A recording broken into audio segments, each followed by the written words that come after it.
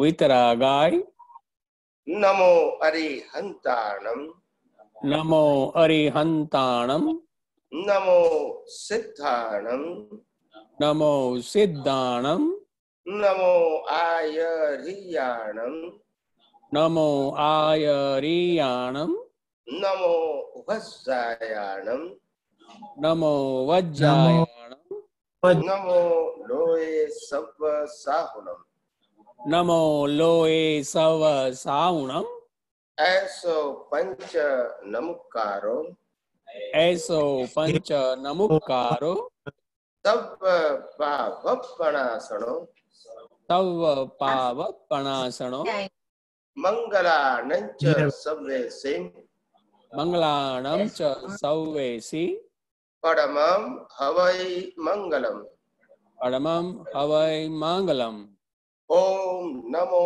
ભગવતે વાસુદેવાય ઓમ નમો ભગવતે વાસુદેવાય ઓમ નમઃ શિવાય ઓમ નમઃ શિવાય જય સચ્ચિદાનંદ જય સચ્ચિદાનંદ પ્રત્યક્ષ દાદા ભગવાનની સાક્ષીએ પ્રત્યક્ષ દાદા ભગવાનની સાક્ષીએ વર્તમાને મહાવિદય ક્ષેત્રમાં વિચરતા વર્તમાને મહાવિદે ક્ષેત્રમાં વિચરતા તીર્થંકર ભગવાન શ્રી સિમંદર સ્વામીને તીર્થંકર ભગવાન શ્રી સિમંદર સ્વામીને અત્યંત ભક્તિપૂર્વક નમસ્કાર કરું છું અત્યંત ભક્તિપૂર્વક નમસ્કાર કરું છું વાત્સલ્ય મૂર્તિ શ્રી દાદા ભગવાનને વાત્સલ્ય મૂર્તિ શ્રી દાદા ભગવાનને અત્યંત ભક્તિપૂર્વક નમસ્કાર કરું છું અત્યંત ભક્તિપૂર્વક નમસ્કાર કરું છું.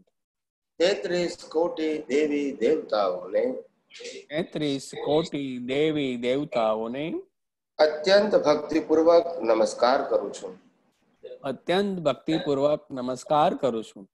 વિતરાગ શાસન દેવ દેવીઓને વિતરાગ શાસન દેવ દેવીઓને અત્યંત ભક્તિપૂર્વક નમસ્કાર કરું છું. અત્યંત ભક્તિપૂર્વક નમસ્કાર કરું છું. નિષ્પક્ષપાતી શાસન દેવ દેવીઓને. નિષ્પક્ષપાતી શાસન દેવ દેવીઓને અત્યંત ભક્તિપૂર્વક નમસ્કાર કરું છું. અત્યંત ભક્તિપૂર્વક નમસ્કાર કરું છું. આ ક્ષેત્રના રક્ષક દેવી દેવતાઓને.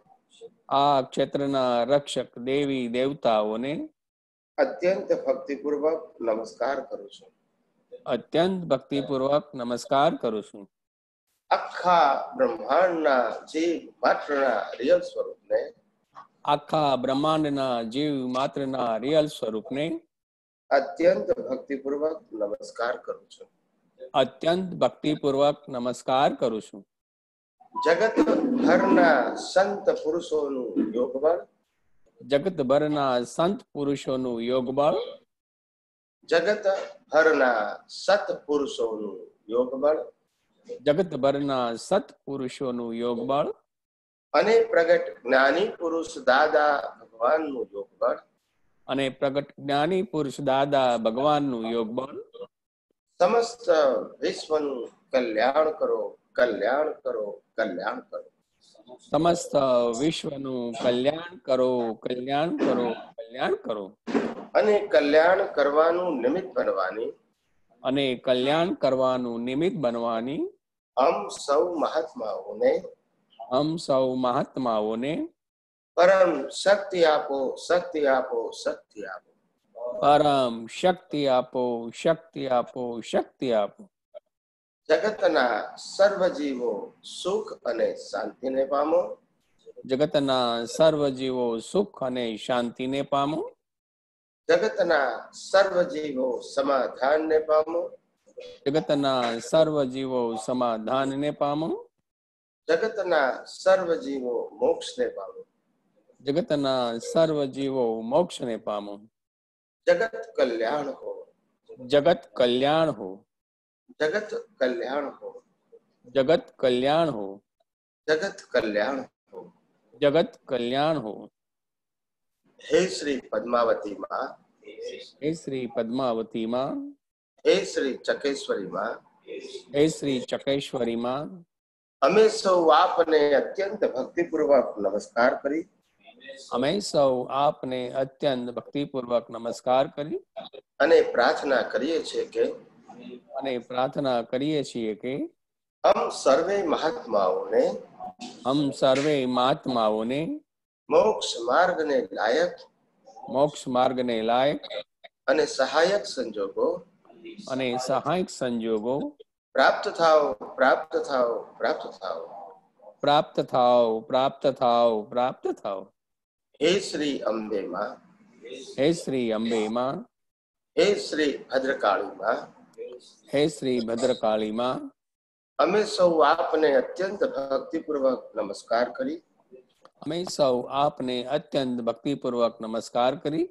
અને પ્રાર્થના કરીએ છીએ કે અને પ્રાર્થના કરીએ છીએ કે પ્રાપ્ત મન વચન કાયાથી પ્રાપ્ત મન વચન કાયાથી આ જગતના કોઈ પણ જીવને આ જગતના કોઈ પણ જીવને કિંચિત માત્ર પણ દુઃખ ન થાય.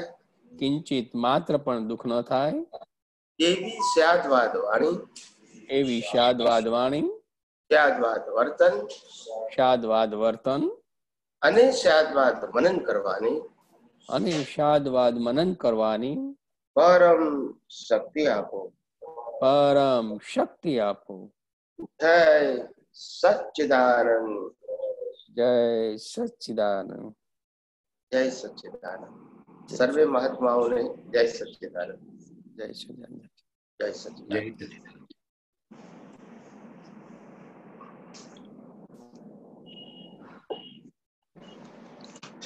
એક પીસ કરતો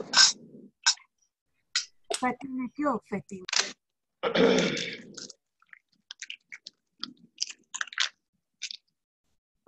બસ બસ બસ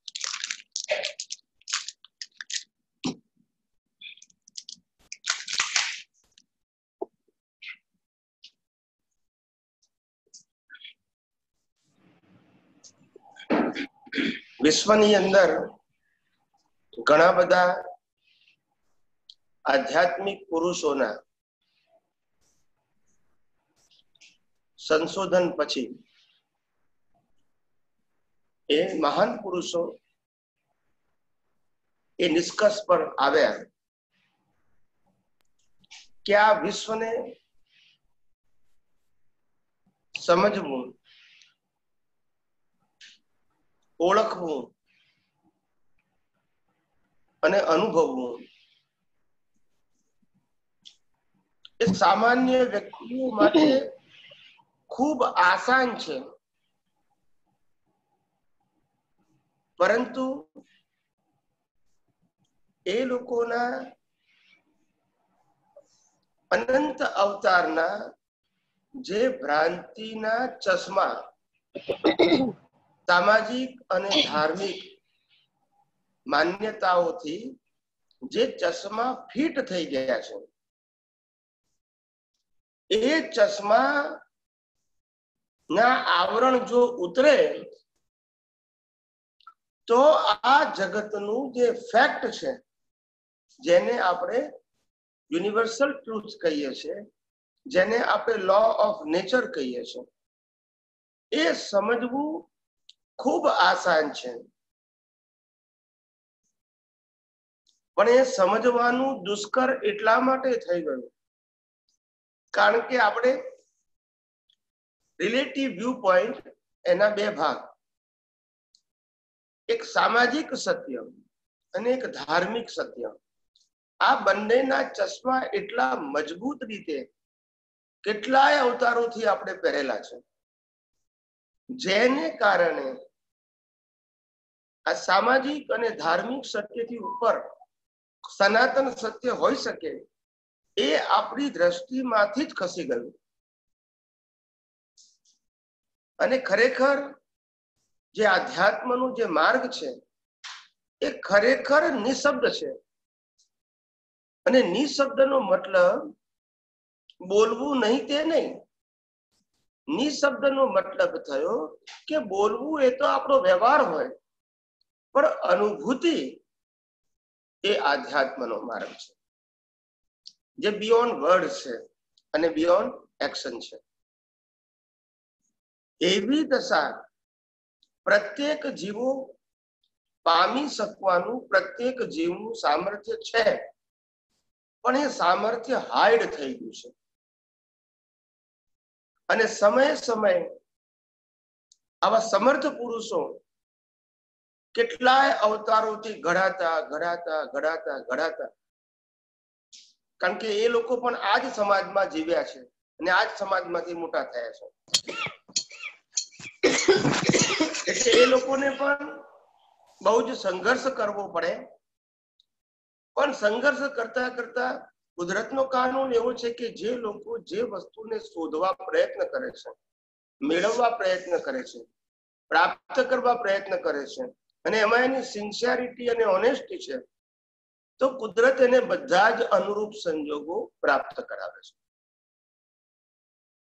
એટલે આવા સમર્થ પુરુષો જ્યારે સમય સમય આ વિશ્વનો સાર કાઢીને પોતે જ્યારે અનુભવ કરે છે, અને અનુભવ કર્યા પછી જ્યારે રિયલમાં એના ઉપયોગ કરવાથી એ મુક્તતાનો જે અનુભવ કરે છે, ત્યારે એ જગતને કહે છે કે ભાઈ આ જગતમાંથી મુક્ત થવું અઘરું નથી. આ જગતને સમજવું અઘરું નથી. અને આ જગતમાંથી મોહ કાઢવો અઘરો નથી. આ રિલેટિવ સત્ય સંબંધી અજ્ઞાન કાઢવું અઘરું નથી.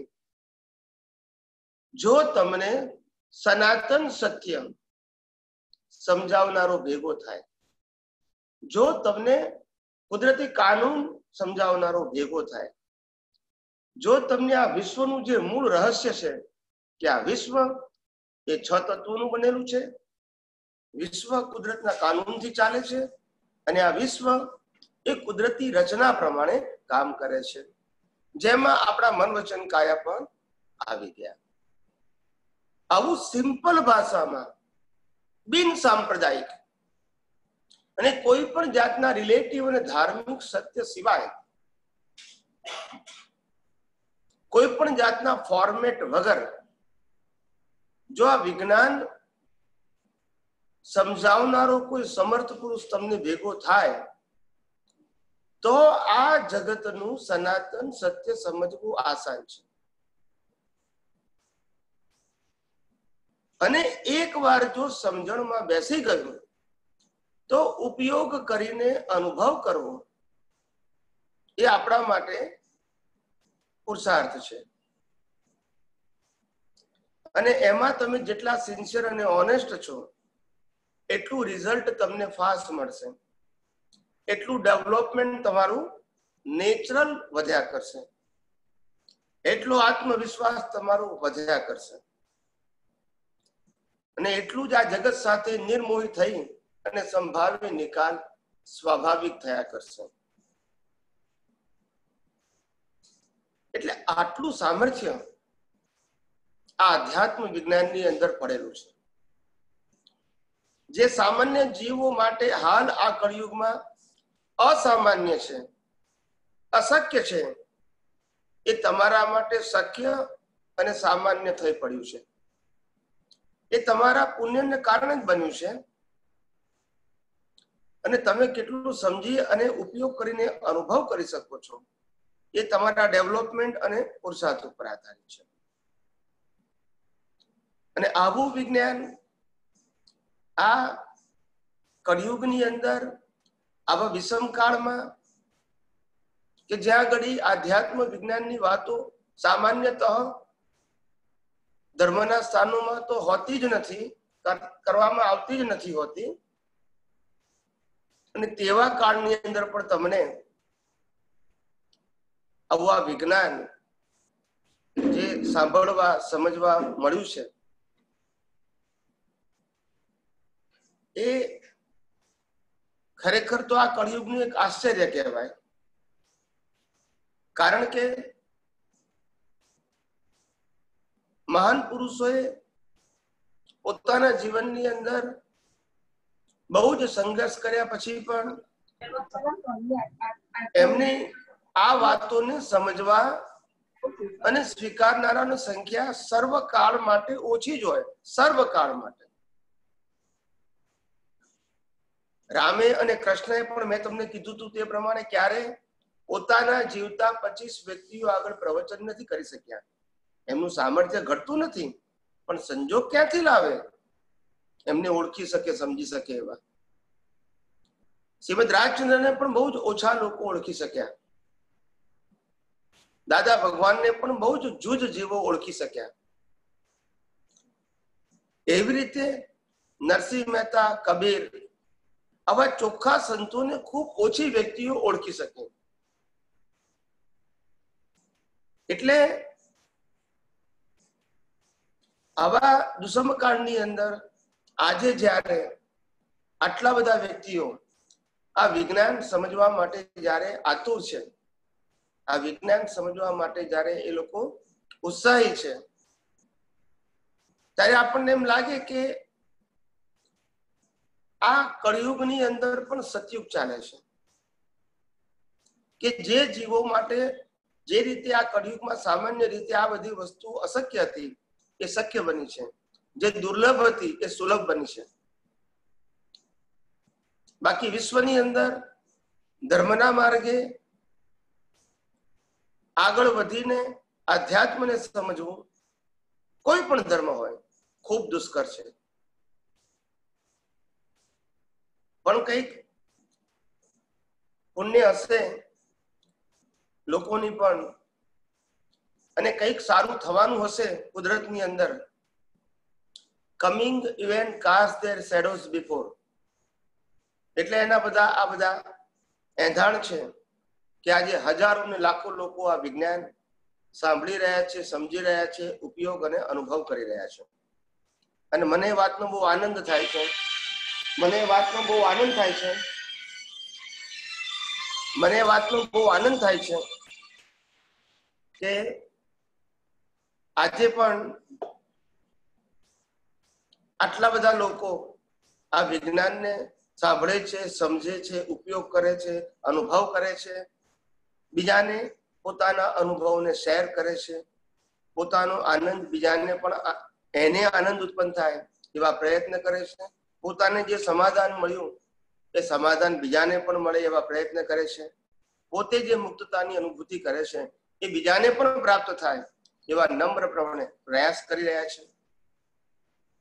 એટલે આના ઉપરથી coming event casts their shadows before આપણને એવું લાગે છે, કંઈક સારું કુદરત કરવા માંગે છે. એના બધા આ સંજોગો છે બધા. ને આપણે બધા એના નિમિત્ત છીએ બધા. તો આવો આપણે સૌ ફરીથી આજ આધ્યાત્મ વિજ્ઞાનને ઊંડાણથી સમજવા પ્રયત્ન કરીએ. અને કઈ પણ પ્રશ્ન મૂંઝવણ હોય, એનું સમાધાન મેળવીએ અને જીવનમાં આગળ વધીએ. એ જ શુભેચ્છા.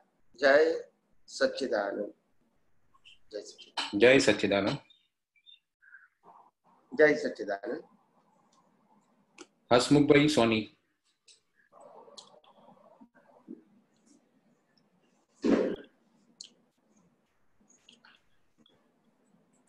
અનમ્યુટ કરજો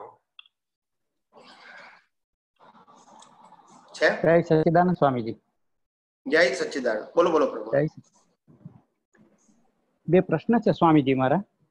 પ્રતિષ્ઠિત આ- પ્રતિષ્ઠિત આત્મા માત્ર. અવસ્થાને જ જોઈ જાણી શકે છે. મૂળ આત્મા ક્યારેય અવસ્થાને જોઈ જાણી શકતો નથી. આની પાછળનું સાયન્સ સમજવું છે. બરાબર છે. એટલે કે ચેતન ક્યારે વિનાશી અવસ્થાઓને જોઈ જાણી ના શકે એનો સ્વભાવ જ નથી. બરાબર. ચેતન પ્રકાશી શકે જોઈ જાણી ના શકે. અને એને જરૂર પણ નથી. જરૂર પણ નથી બરાબર? પણ પ્રતિષ્ઠિત આત્મા એવું છે કે એને જોવું જાણવું એટલા માટે કે ક્યાં તો એ અજ્ઞાનનો વધારે કરવો. એટલા માટે જોવું જાણવું છે. ક્યાં તો અજ્ઞાનનો નાશ કરવો છે. માટે ને જોવું જાણવું પડે. બરાબર છે બરાબર. એટલે પ્રકાશ મૂળ આત્માનો પણ જોવું જાણવું તો એને જ પડે કારણ કે પુરુષાર્થ એને કરવાનો છે. અજ્ઞાન વધારવું હોય તો એને જોવું જાણવું પડે. અજ્ઞાન નાશ કરવું હોય તો એને જોવું જાણવું પડે. બરાબર છે સમજાયું સ્વામી. તો સ્વામી રોલ જ એનો છે રોલ જ એનો છે. સમજાયું. તો એનો અર્થ એવો થયો સ્વામીજી કે અજ્ઞાન હોય તો જ જોવા જાણવાનું થઈ શકે? અજ્ઞાન ના હોય તો જોવા જાણવાનું ના હોય. ના હોય બરાબર સમજાયું. એટલે મૂળમાં અજ્ઞાન પ્રકૃતિ છે. પ્રકૃતિ જોવે જાણે છે એ તો ઉદય કર્મ છે. ઉદય કર્મ છે બરાબર. પ્રતિષ્ઠિત આત્મા જુએ જાણે છે તે પુરુષાર્થ છે. બરાબર. અને છેલ્લા અવતારમાં પ્રતિષ્ઠિત આત્મા હોતો નથી એટલે પુરુષાર્થ રૂપે જોવા જાણવાનું હોતું નથી. બરાબર છે બરાબર અને સમજાયું. સમજાયું. પરિણામ રૂપે જે જુએ છે એની તો કોઈ જવાબદારી નથી. એની જવાબદારી નથી. સમજાયું સ્વામી. માટે એ અવતારે તો માટે એ અવતારે તો જન્મ થવું કેવળ જ્ઞાન થવું મોક્ષ થવું બધું ઓટોમોડ છે. બરાબર બરાબર સમજાય. બીજો બરાબર સમજાયું સ્વામીજી. બીજો એક પ્રશ્ન છે સ્વામીજી. અજ્ઞાનનો નાશ થાય એટલે અવસ્થા રૂપે જોનારો પ્રતિષ્ઠિત આત્મા ઉડી જાય. તો પછી લાસ્ટ બર્થમાં ડિસ્ચાર્જ ઈગોના ભોગવટાને કોણ જુએ છે? ભોગવટાને જોનારો ન હોય તો ભોગવટાનો અર્થ શું? ડિસ્ચાર્જ ઈગો તો માત્ર મશીનરી છે. હા એટલે ડિસ્ચાર્જ ઈગો જે છે એ ડિસ્ચાર્જ ને જ જુએ છે. બરાબર બરાબર. આત્માને જોવાનો જ નથી. ચાર્જ ઈગો નથી જોઈ શકતો આત્માને. બરાબર છે. પણ છેલ્લે તો ડિસ્ચાર્જ વાળો ડિસ્ચાર્જ ને જુએ છે. હમ હમ. સમજાય છે ને? અને મૂળ આત્મા તો પ્રકાશક છે. લાઈવ પ્રતિષ્ઠિત આત્મા છે નહીં. બરાબર. તો કોઈ પુરુષાર્થ કરવાનો નથી કોઈ પુરુષાર્થ કરવાનો નથી. આત્મા એના સ્વભાવમાં છે અને મન વચન કાયા એ કુદરતી રચના તાબેમાં છે. પ્રતિષ્ઠિત આત્મા લાઈવ છે નહીં. કોઈ પ્રકારનો પુરુષાર્થ નથી. એક છેલ્લો અવતાર. બરાબર છે. એટલે ડિસ્ચાર્જ ઈગોના ભોગવટાને લાસ્ટ બર્થમાં જોવાની જરૂર જ નથી હવે એમ. કારણ કે કારણ કે રોલ જ નથી ને કશું. જોનારો જ નથી સમજાય. આગલા અવતારમાં અજ્ઞાન નીકળી ગયું છે એટલે જે પુરુષાર્થ કરનારો હતો એનું અસ્તિત્વ ખલાસ થઈ ગયું. બરાબર છે એટલે પ્રશ્ન જ ઊભો નથી થતો બરાબર છે. હવે જે પરિણામ બાકી રહ્યું એ તો કુદરતના હાથમાં છે. એમાં કોઈને જોવા જાણવાની જરૂર નથી. જરૂર નથી બરાબર છે. એ તો પરમાત્મા એના સ્વભાવમાં છે. સ્વભાવમાં છે એટલે સેપરેશન ટોટલ સેપરેશન પ્રકૃતિનો એન્ડ આવે અને પરમાત્મા મોક્ષે જાય. સમજાઈ ગયું સ્વામી સમજાઈ બરાબર. એટલે આમાં કોઈ જગ્યાએ કોઈ પઝલ જેવું જ નથી. બરાબર બરાબર સમજાયું. હમ, હમ. જય શ્રી હમ? જય સચ્ચિદાનંદ જય સચ્ચિદાનંદ જય સચ્ચિદાનંદ નૈનાબેન જોશી.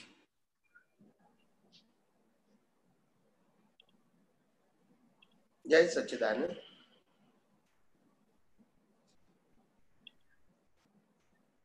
અનમ્યુટ કરજો. અનમ્યુટ કરવાનું છે. જય સચિદાનંદ સ્વામીજી. આપણે દાદા સચ્ચિદાનંદ. હા આપતો સૂત્ર છે એમનું કે જે ક્રિયાઓ સૂક્ષ્મ સ્થૂળ સૂક્ષ્મમાં હોય તે ખપાવી પડે અને સૂક્ષ્મતર સૂક્ષ્મતમ જાણવા જોવાથી ખલાસ થાય. તો આ જરા સમજવું છે સ્વામીજી. સમજાવો. આ જો કે આપણા સત્સંગમાં આવી ગયું છે. આ વાક્ય આવી ગયું છે? આવ્યું છે પણ ફરી સમજવું છે Swamiji. Okay okay okay okay. કે સ્થૂળ અને સ્થૂળ અને સૂક્ષ્મ એ તો ભોગવટા રૂપે છે. કેવું છે? ભોગવટા રૂપે. હા. સ્થૂળ અને સૂક્ષ્મ ભોગવટા રૂપે છે. અને સૂક્ષ્મતર અને સૂક્ષ્મતમ એ કોઝ રૂપે છે. કારણ. પોઝ રૂપે છે હા હા એ કારણના બે ભાગ છે. સંસારલક્ષી કારણ અને મોક્ષલક્ષી કારણ. હા સંસારલક્ષી કારણને સૂક્ષ્મતર કહે છે અને મોક્ષલક્ષી કારણને સૂક્ષ્મતમ કહે છે. પણ સ્થૂળ સૂક્ષ્મ સૂક્ષ્મતર અને સૂક્ષ્મતમ આ બધી જ અવસ્થાઓને સંસારી અવસ્થા કહે. કેવી કીધી સંસારી અવસ્થા. તો આ સૂક્ષ્મતમ સુધીની તમામ સંસારી અવસ્થાઓનો હું જ્ઞાતા દ્રષ્ટા માત્ર છું ટંકોત્કીર્ણ છું આનંદ સ્વરૂપ છું. કારણ કે બધી અવસ્થા છે બધી.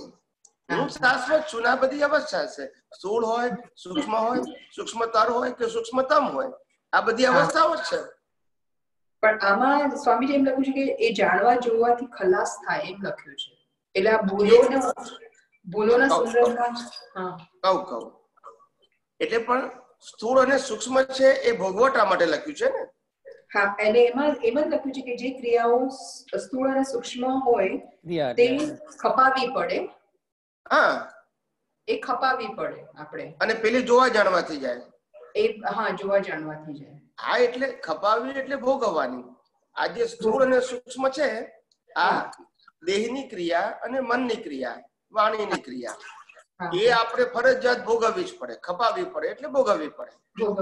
યુ હેવ ટુ સફર નો ચોઇસ અને સૂક્ષ્મતર અને સૂક્ષ્મતમ છે એ બંને જોવાથી જતી રહે. કેમ જોવાથી જતું રહે? સમજાઈ દઉં તમને કેમ જોવા જતું રહે? કારણ કે કારણ સ્વરૂપ છે. કારણ સ્વરૂપ છે. હવે કારણ સ્વરૂપમાં જો તન્મય આકાર ના થાવ તો ઉકલે નહીં વિટાય નહીં. હા અચ્છા વિટાય છે ક્યારે? વિટાય છે ક્યારે? કે જ્યારે તમે ભરો તો વિટાય છે. નહીતર ઉકલી જાય છે. એટલે બીજ પાડવા માટે બીજ પાડવા માટે આત્માની શક્તિ અને લાઈવ પ્રતિષ્ઠિત આત્માનો ઈગો. ઈગો પોતે ભાવ કરે છે વિથ ઇન્ટેન્શન. અને આત્માની શક્તિ આવે ભલે ત્યારે કર્મ ચાર્જ થાય છે. બરોબર છે સ્વામી. હવે વિચારો આવે ભાવ થાય એ જો એની અંદર છૂટો રહે ખાલી જુએ જાણે તો ઉકલી જાય ઓગળી જાય. પણ એ વિચારો તો સૂક્ષ્મ લેવલ પર થઈ ગયા ને સ્વામીજી? હા પણ આત્મા તો એનાથી સૂક્ષ્મથી સૂક્ષ્મ છે. હા હા એ વાત બરાબર છે અને જે પ્રતિષ્ઠિત આત્મા છે એ પ્રતિષ્ઠિત આત્મા જેમ ડેવલપ થતો જાય જેમ ડેવલપ થતો જાય તેમ એ સ્થૂળમાંથી સૂક્ષ્મ તરફ જાય. હા બરાબર છે. એનો. પુરુષાર્થ છે ને એ સ્થૂળમાંથી સૂક્ષ્મ તરફ જાય. બરાબર છે જેટલો અહંકાર જેટલો અહંકાર રિલેટિવ સત્ય વાળો હોય એ બધો સ્થૂળમાં કન્વર્ટ થાય. બરાબર છે. વાણીમાં વર્તનમાં વિચારોમાં વ્યક્તિઓમાં સાધનોમાં આ બધી વસ્તુમાં રસ પડે. બરાબર બરાબર છે. જેટલો સૂક્ષ્મમાં જાય એટલો અંતર્મુખી થાય. બરાબર છે. અને જેમ જેમ સૂક્ષ્મતા વધતી જાય તેમ તેમ એને બહાર વૈરાગ્ય વર્તે અને આત્માનું મહત્વ સમજતો સમજતો જાય. અને આ જગતને ખાલી સનાતન સત્ય રૂપે જુએ મોથી ના જુએ મોંથી ન જોઈએ બરાબર છે. પણ આ- જોવે ને ઓગળી જાય જોવે ને ઉકળી જાય. હા પણ આમાં સ્વામીજી લખ્યું છે સૂક્ષ્મતર અને સૂક્ષ્મતમ જાણવા જોવાથી ખલાસ થાય એમ લખેલું છે. જાણવું જોવું એટલે જ ને. જાણવાનું શું અને જોવાનું શું એ સમજી લો. જાણવાનું શું છે કે આ સ્થૂળ ને સૂક્ષ્મ અવસ્થા છે એમાં હું કોણ છું? તો કે શુદ્ધાત્મા છે. શુદ્ધાત્મા છે બરાબર ખ્યાલ આવ્યો? તારે જોવાનું શું? તો કે આ જે દેખાય છે એ બધું કુદરતી રચના છે? કુદરતી રચના છે. આ જોયું જાણ્યું એટલે ખરી ગયું. હા હા એટલે આ નવું કશું નવું વિટાયું નહીં કશું? નહીં એટલે આ ચારે ચાર પાર્ટ જે છે એ ડિસ્ચાર્જ ના પાર્ટનું આ લોકો આમાં છે એમ કહેવાય ને? એટલે આ ચારે ચાર પાર્ટમાં જેટલા એટલે જે જોવું જાણવું છે એમાં જે તમે કાચા પડી જશો એટલું તમારું મીઠાશે. મીટાશે બરાબર છે. અને આપ કહો છો કે સૂક્ષ્મ તર અને સૂક્ષ્મતમ એ ચાર જે પ્રતિષ્ઠિત આત્મા છે એનો ભાગ બરાબર ને. હા. અને આ જે ડિસ્ચાર્જ છે એને માટે કહેવામાં આવે છે. હા. પણ ચાર્જ ભાગમાં પણ મહત્વની વસ્તુ શું છે? કે. ચાર્જ ભાગની અંદર પણ માનો કે મન બુદ્ધિ ચિત્ત અહંકારની અંદર પ્રોસેસ થાય. પણ. જો આત્માની આત્મા માટેનું લક્ષ્ય જો પાકું થયું હોય તો પછી ચાર્જ મોડું થઈ જાય. મોડું થઈ જાય. બરાબર છે સ્વામીજી. એટલામાં પ્રોસેસ થાય. પ્રોસેસ થાય. પણ વેલ્યુ જો આત્માની વધી ગઈ હોય હા, તો પછી પ્રોસેસની અસર ના રહે. માઇન્ડ ના થઈ થાય જાય. હા હા હા. એવી રીતે. હા કારણ કે ઇમિડિયેટલી પછી એને આપણે ચેકઆઉટ કરીને આપણે એને ચેકી નાખીએ અને આપણે કહીએ કે ના મારે તો આમ જ મોક્ષ માર્ગમાં આગળ વધવું છે. એટલે એ પ્રમાણે એટલે આપણે એને કીધેલું કે એને જે પેલો વચ્ચે આપણે પ્રશ્ન લીધેલો કે ઉદ્દીર્ણા અને પ્રતિક્રમણ. ઉદ્દેરણા અને પ્રતિક્રમણ. હા હા હા. સ્વામી. અજ્ઞાનનો નાશ કરવો એને ઉદ્દીર્ણા કહેવાય. અને ક્રિયાના દોષોનો માફી માંગવી એનું નામ પ્રતિક્રમણ. એ એટલે પ્રતિક્રમણ આઉટસાઇડ છે. હા હા. સમજાય છે ને. અને ઉદ્દીર્ણા ઇનસાઇડ છે. બરાબર છે બરાબર છે. અજ્ઞાનનો નાશ કરવો એને ઉદ્દેણા કીધી અને. ક્રિયાનું માફી માંગવી એને પ્રતિક્રમણ પ્રતિક્રમણ કહે છે. હા બરાબર. હવે જો અજ્ઞાનનો નાશ થાય તો નવ બીજ ના પડે. હા હા હા. બરાબર છે. ખાલી મોક્ષ માર્ગ માટે લાયક અને સહાયક સહાયક હા હા બરાબર છે સ્વામી. એવી- રીતે. બરાબર. સમજમાં આવી ગઈ સમજાય સમજાય સમજાય સમજાય. જય સચિદાનંદ જય. સચિદાનંદ જય સચિદાનંદ. દર્શક શાહ રાજકોટ.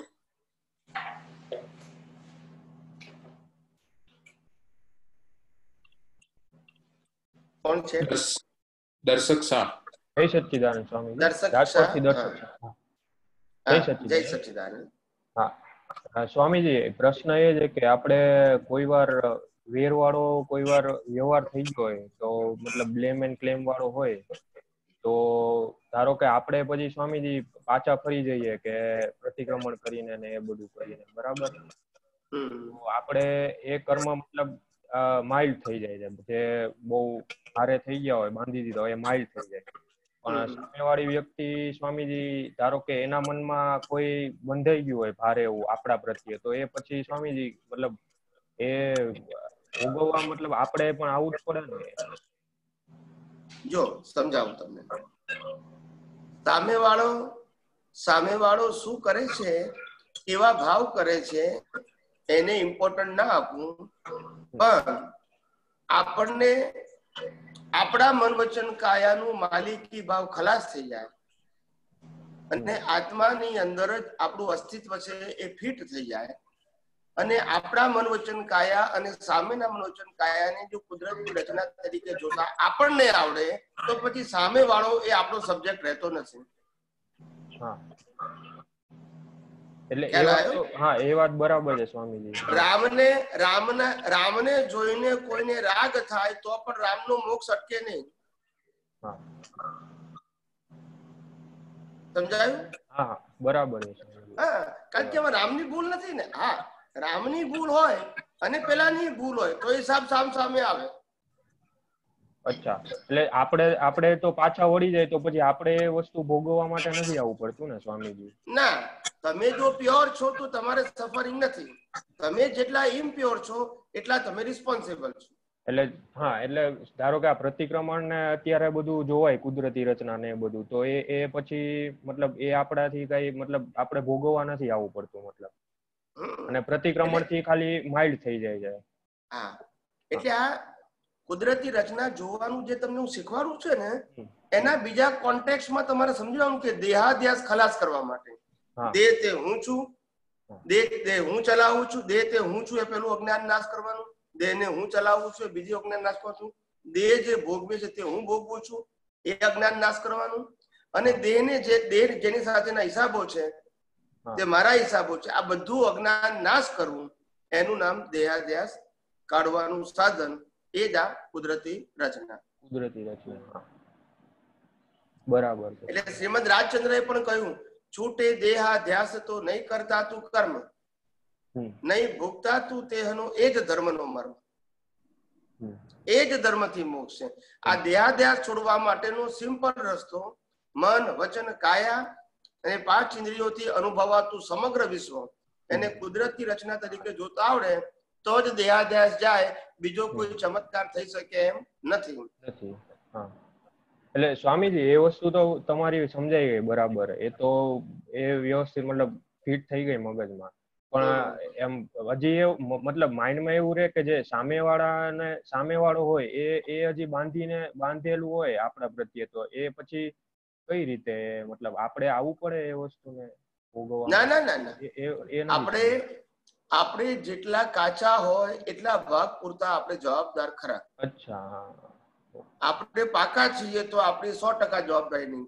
પણ આપણે પચાસ ટકા પાકા છીએ અને પચાસ ટકા કાચા છીએ તો પચાસ ટકા જવાબદારી આવે. એટલે. છે. એટલો. છે માટે જવાબદારી આવે. Okay okay okay okay. એટલે સ્વામીજી એ જે તમે રીતે કીધું કે હા પચાસ ટકા બાકી હોય એ આપણે આવવું પડે ભોગવા પણ સ્વામીજી એ આપણી જ્ઞાન દશા ઊંચી હોય તો પછી આપણને એ વખતે એટલું નથી રહેતું ને સફરિંગ હા એટલે પછી જયારે ભોગવટો આવે બીજા અવતારમાં ઉદયમાં તે વખતે ત્યાં સુધી તમે અજ્ઞાનનું નાશ કરી નાખ્યો હોય. તો પછી એ અવતારમાં ભોગવટો ભલે આવશે પણ તમે. આસાનીથી છૂટા રહી શકશો. હા બરાબર. કારણ કે તમે અજ્ઞાનનો નાશ કર્યો છે that is important thing okay. એટલા માટે આપણે એટલા માટે આપણે પ્રતિક્રમણ સામાયિક ઉપર ભાર નથી મૂકતા. હા હા એ તો બરાબર પુરુષાર્થ રૂપે ઉદય રૂપે બરાબર છે. હા. પણ પુરુષાર્થ રૂપે નહીં કારણ કે તમારે મન વચન કાયા જે છે એ હું છું એને હું ચલાવું છું એનો નાશ કરવાનો છે માટે. હમ. જ્યારે શુભાશુભ માર્ગમાં અને ધર્મમાં અને સમાજમાં જરૂરી છે. હા બરાબર. અહીંયા દેહાધ્યાસ કરવા માટે એ પુરુષાર્થ રૂપે ઇમ્પોર્ટન્ટ નથી. ઉદય રૂપે જે હોય તે. હા. એટલે સ્વામીજી આમ આ પ્રતિક્રમણ તો આપણે બરાબર છે કે પુરુષાર્થ રૂપમાં મતલબ એ મતલબ આ ડિસ્ચાર્જ ભાગમાં જ જાય. એ પુરુષાર્થ મતલબ ના કહેવાય. આ કોઈ વાર સ્વામીજી એવો સંજોગ હોય કે આપણે મતલબ ત્યારે એવું જોવાતું નથી કુદરતી રચનામાં. પછી એવું યાદ આવે કે ભાઈ પછી બધું સેટ થાય માઇન્ડમાં કે ભાઈ આપણો જ હિસાબ હતો. પછી કુદરતી રચના આખું જોવાય જે રીતે તમે સમજાવેલું હતું કે છ તત્વ સ્વરૂપે. એ પછી ખબર પડે સ્વામીજી. તો એના માટે પછી પ્રતિક્રમણ કરવા પડે ને સ્વામીજી. કશું નહીં. કે આપણે પાછળથી બી જોયું ને. પાછળથી જોયું પાછળથી ખબર પડે હા. એટલે આપણે આપણા વિઝનમાં ક્લિયર થઈ ગયું. હવે જયારે હિસાબ આવશે ત્યારે આ વિઝન પાછું રેડીમેડ કામ લાગશે. હિસાબ તો હિસાબ તો બીજ તો પડી જાય કાચું પડીએ એટલે. પણ તમે કુદરતની એક્ઝામમાં પાસ થઈ ગયા છો. હા. તો પરિણામ તો આવશે જ. ઓકે પણ ત્યારે એટલું પછી પરિણામ જ્યારે નેક્સ્ટમાં જેમ- બર્થમાં આવે જેમ- લાસ્ટ બર્થની અંદર એના આગલા અવતારમાં બધું જ અજ્ઞાન ખલાસ થઈ ગયું છે. છેલ્લા અવતારમાં પ્રતિષ્ઠિત આત્મા પણ નથી. નથી હોતો. તો પણ જ્યાં જ્યાં ફેલ થયા છે એના બધા હિસાબો તો પૂરા કરવા જ પડશે. ઓકે હા. પણ એ હિસાબો નડવાના નથી હવે. હા કેમ કે આપણું અજ્ઞાન નથી. હા હા બરાબર છે. આગળ તમે પાસ થઈ ગયા છો ફરીથી પાસ થવા નથી. પણ હિસાબ તો જે બીજ પડી ગયો ભોગવટો તો કુદરત આપવાની જ છે. આવશે આવશે. બરાબર બરાબર. પણ એ ભોગવટો તમને ભોગવટો લાગશે નહીં. માત્ર પરિણામ. ઓકે. કારણ કે તમારું પરમાત્મા પદ ખુલ્લું થઈ ગયું છે. અને મન વચન કાયની અવસ્થા માત્ર કુદરતી રચના તો છે જ. અને વચ્ચેનો પ્રતિષ્ઠિત આત્મા તમને છે નહીં. હા બરાબર. સમજાય ને? હા હા. અને સ્વામીજી આપણે જયારે સંજોગ હોય ત્યારે આપણે એકદમ છૂટાપણું રહે. તો મતલબ ત્યારે પછી બીજ નથી પડતું ને? સંજોગો સંજોગ કોઈ પણ સંજોગો હોય ત્યારે આપણે જોઈ લઈએ કે ભાઈ આપણે આપણી શુદ્ધાત્માની સીટ ઓન ધ સ્પોટ જુઓ તો કશું તમે બિલકુલ જવાબદાર નહીં બિલકુલ નહીં. પડતું. ઓકે. બિલકુલ બિલકુલ. હા એટલે બીજ પડે પણ એ મોક્ષ માર્ગ માટે લાયક અને સહાયક પડે. હા એટલે પુરુષ સંસારને લાયક અને સહાયક ના પડે. હા હા. ટૂંકમાં એ પુરુષાર્થ તો હજી કેવાય કેમ કે હજી કઈ આપણે પૂરું તો છે જ ને. હા, હા એ તો તમે આ કુદરતી રચના જુઓ છો ને શુદ્ધાત્મા પણ મારું છે પુરુષાર્થ તો છે પુરુષાર્થ સંસાર વધારનારો નથી. But હા મોક્ષ માર્ગ માટે લાવ્યો ને સાહેબ. હા. ઓકે ઓકે ઓકે હા ઓકે. જય સમજાય સચિદાનંદ. જય સચિદાન જય સચિદાન કિશોરભાઈ. હા. જય સચિદાન સ્વામી. જય સચિદાન સ્વામી મારો પ્રશ્ન એક આપણા પ્રતિષ્ઠિત આત્મા માટેનો છે. હમણાં હસમુખભાઈએ પ્રશ્ન કર્યો હતો કે ભાઈ જોવા જાણવાનો સ્વભાવ પ્રતિષ્ઠા આત્મા માટે છે. પણ એવું લાગે કે છ તત્વો છે છ તત્વોમાં અમે, પ્રતિષ્ઠા આત્મા એ તત્વ જ નથી. એટલે જોઈ જાણી શકે છે. તત્વ હોય તો જોઈ જાણી શકે નહીં. તત્વ પોતાના સ્વભાવમાં હોય. એ બરાબર છે? એમ કે શું કહેવું છે? તત્વ અવસ્થા તત્વમાં તત્વ પાસે અવસ્થાને જોવા જાણવાનો સ્વભાવ નથી. તત્વ ના જોઈ શકે. એટલે અવિન- અ, પ્રતિષ્ઠિત આત્મા તત્વ ન હોવાથી જોઈ જાણી શકે છે. અનુભવી શકતો નથી. પ્રતિષ્ઠિત પ્રતિષ્ઠિત આત્મા તો બિલીફ છે ને. એટલે તત્વ નથી જગતને બિલીફથી જગતને જુએ છે ને સાચું ખોટું ગમતું ના ગમતું મારું તારું ટેમ્પરરી પરમેનન્ટ. આ બધા આ જે બધી બિલીફો છે એ બિલીફને તો જોવું જાણવું કહીએ છીએ આપણે આ જગતને. એ બધું રિલેટિવ સત્ય છે. આ ફંડામેન્ટલ કે તત્વ નથી એટલે જ આ બધું થઈ શકે છે નકર થઈ શકે તત્વ ના હોય તો સર્જન ના હોય. તત્વ ના હોય ને તત્વ દ્રષ્ટિ તમારી જો થઈ જાય તો સર્જન ના થાય. ફક્ત વિસર્જન હોય. પછી એક દાદાનું આપતા થ્રી સેવન એટ ફાઈવ હવે એમાં એવું કે વિનાશી વસ્તુની મુદત હોય અવિનાશીની મુદત ન હોય નહીં. વિનાશીને વિનાશી સમજનારો અવિનાશી હોય. હવે આપણે સમજનારામાં તો આપણે પ્રતિષ્ઠિત આત્માને ગણીએ છીએ. તો વિનાશીને વિનાશી સમજનારો અવિનાશી હોય. એટલે સમજાવ સમજાવ એ શું કહેવામાં છે કે જ્ઞાન ગુણ તો આત્માનો છે. બરાબર છે. પ્રતિષ્ઠિત આત્માનો ગુણ જ્ઞાન નથી. બરાબર છે સમજાય છે? એનો ગુણ જ્ઞાન નથી. એના પ્રકાશની અંદર એને જેવું દેખાય છે જેવું સમજાય છે એવું એને જ્ઞાન કે છે. બરાબર. મૂળ જ્ઞાન ગુણ ચેતનનો છે. એટલે છેલ્લે કેવળ જ્ઞાન થાય છે. એટલે એવું કે વિનાશીને વિનાશ સમજનારો અવિનાશી હોય. હા. એટલે પ્રતિષ્ઠિત આત્મા વિનાશી છે પણ એ અવિનાશીને આધારે એ બધા ગુણો એ રીતે સમજે છે. કારણ કે અવિનાશી એટલે- એટલે તો એટલે તો મેં કીધું કે પ્રતિષ્ઠિત આત્મા એ પોતે તો વિનાશી છે ટેમ્પરરી છે. બરાબર છે. પણ એ અત્યાર સુધી ટેમ્પરરી ને પરમેનન્ટ માનતો હતો. બરાબર. હવે પરમેનન્ટ ને પરમેનન્ટ માને છે એટલે ટેમ્પરરી જે બિલીફ હતી એ બધી ખલાસ થવા માંડે છે. જેને આપણે અજ્ઞાન નાશ કરવો કહીએ છીએ. સમજાય છે? હવે હવે જો અજ્ઞાન નીકળી ગયું તો એનું અસ્તિત્વ જ નથી. એટલે મૂળ આત્મા જ છે. બરાબર છે. હવે બીજો સ્વામી પ્રશ્ન એવો છે. આ કે આ કેવું છે? આપણે કેવું કીધું આપણે? આ કેવું થયું કે જેમ મેં બેંકની લોન લીધી છે એટલે મારે ને બેંક વચ્ચે કોન્ટ્રાક્ટ છે હમ હમ. પણ જેવી લોન પતી ગઈ એટલે બેંકને મારે કોઈ લેવા દેવા નથી. પણ જ્યાં. સુધી બેંકની લોન હતી ત્યાં સુધી મારે કોન્ટ્રાક્ટ હતો. એવી રીતે અજ્ઞાન હતું ત્યાં સુધી પ્રતિષ્ઠિત આત્માનો રોલ હતો. એનું જ્ઞાન દર્શન કામ કરતું હતું એનું જ્ઞાન દર્શન કારણ કે એના આધારે દુનિયા જોતો હતો ને જોતો હતો ભોગવતો હતો વગેરે વગેરે. એટલે ફંડામેન્ટલી પ્રતિષ્ઠિત આત્મા વિનાશી ને વિનાશી સમજનારો અવિનાશી હોય એ એક એનો ભાવાર્થ એવો કહેવા માંગે ભાઈ પ્રતિષ્ઠિત આત્મા જ્યાં સુધી અજ્ઞાનમાં છે ત્યાં સુધી બાકી પ્રશ્ન ઓટોમેટિકલી એ અજ્ઞાન જાય એટલે સમજનારો મૂળ આત્મા જ થાય. એવું થાય? હા એટલે પછી મૂળ આત્માને મૂળ આત્મા તરીકે સમજવાનું જ નથી. પણ આ તો એક રેફરન્સમાં કીધું છે. એ રેફરન્સમાં ભાષા બોલ્યા છે. મૂળ તત્વ જ્ઞાન તત્વ આત્માનો ગુણ છે.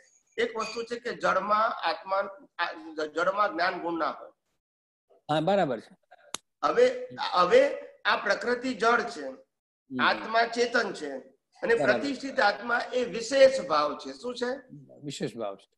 હા માટે કીધું કે એનામાં ડાયરેક્ટ કોઈ જ્ઞાન ગુણ નથી પણ ઇનડાયરેક્ટ જ્ઞાન ગુણ છે. કેવો છે? ઇનડાયરેક્ટ ઇનડાયરેક્ટ એટલે પડદા વાળો હવે જે દિવસે પડદો નીકળી ગયો એટલે એનું અસ્તિત્વ ખલાસ થઈ ગયું. બરાબર સમજાય ને હા સમજાય. બીજી બીજું એવું છે કે ભાઈ આપણે જ્યારે પ્રકૃતિ ને પરમાત્મા દરમિયાન કે એટલે કુદરતી રચના અને શુદ્ધાત્માને આપણે અલગ અનુભવીએ છીએ અને સામાન્ય માણસને બે રીતે જોઈએ છીએ. ઘણી વાર સામાન્ય વ્યક્તિ અજ્ઞાનીમાં મેચ્યોર છે ને એક માઇનોર છે નાનો માણસ છે બાળક છે. હવે મેચ્યોર મેચ્યોર માણસ અજ્ઞાનીને આપણે શુદ્ધાત્માને પ્રતિષ્ઠાત્મા તરીકે એટલે કુદરતી રચના તરીકે જોઈએ છે તો આપણે એમાં કશો કોઈ દોષ થતો નથી એટલે કે આપણે કોઈ કાનો બાંધતા નથી. પરંતુ નાનું બાળક છે દાખલા તરીકે અમારે અહીંયા હું આજે બે દિવસ કેનેડા આવ્યો છું તો અમારે ક્વોરન્ટાઇન રહેવાનું હતું. નાના મને ભૂલકાઓ છે તો આપણે એને ટચ કરવાનો હોતો નથી પંદર દિવસ સુધી બરાબર છે? તો એ આપણે જોઈને આંસુ પાડવા માંડે. હવે આપણે તો એને શુદ્ધાત્મા ને કુદરતી રચના જ જોઈએ છીએ. એની એની એની આપણી સાયન્ટિફિક ઇફેક્ટ શું થાય? કશું નહીં. આ તો દૈહિક ફિલિંગ છે ને.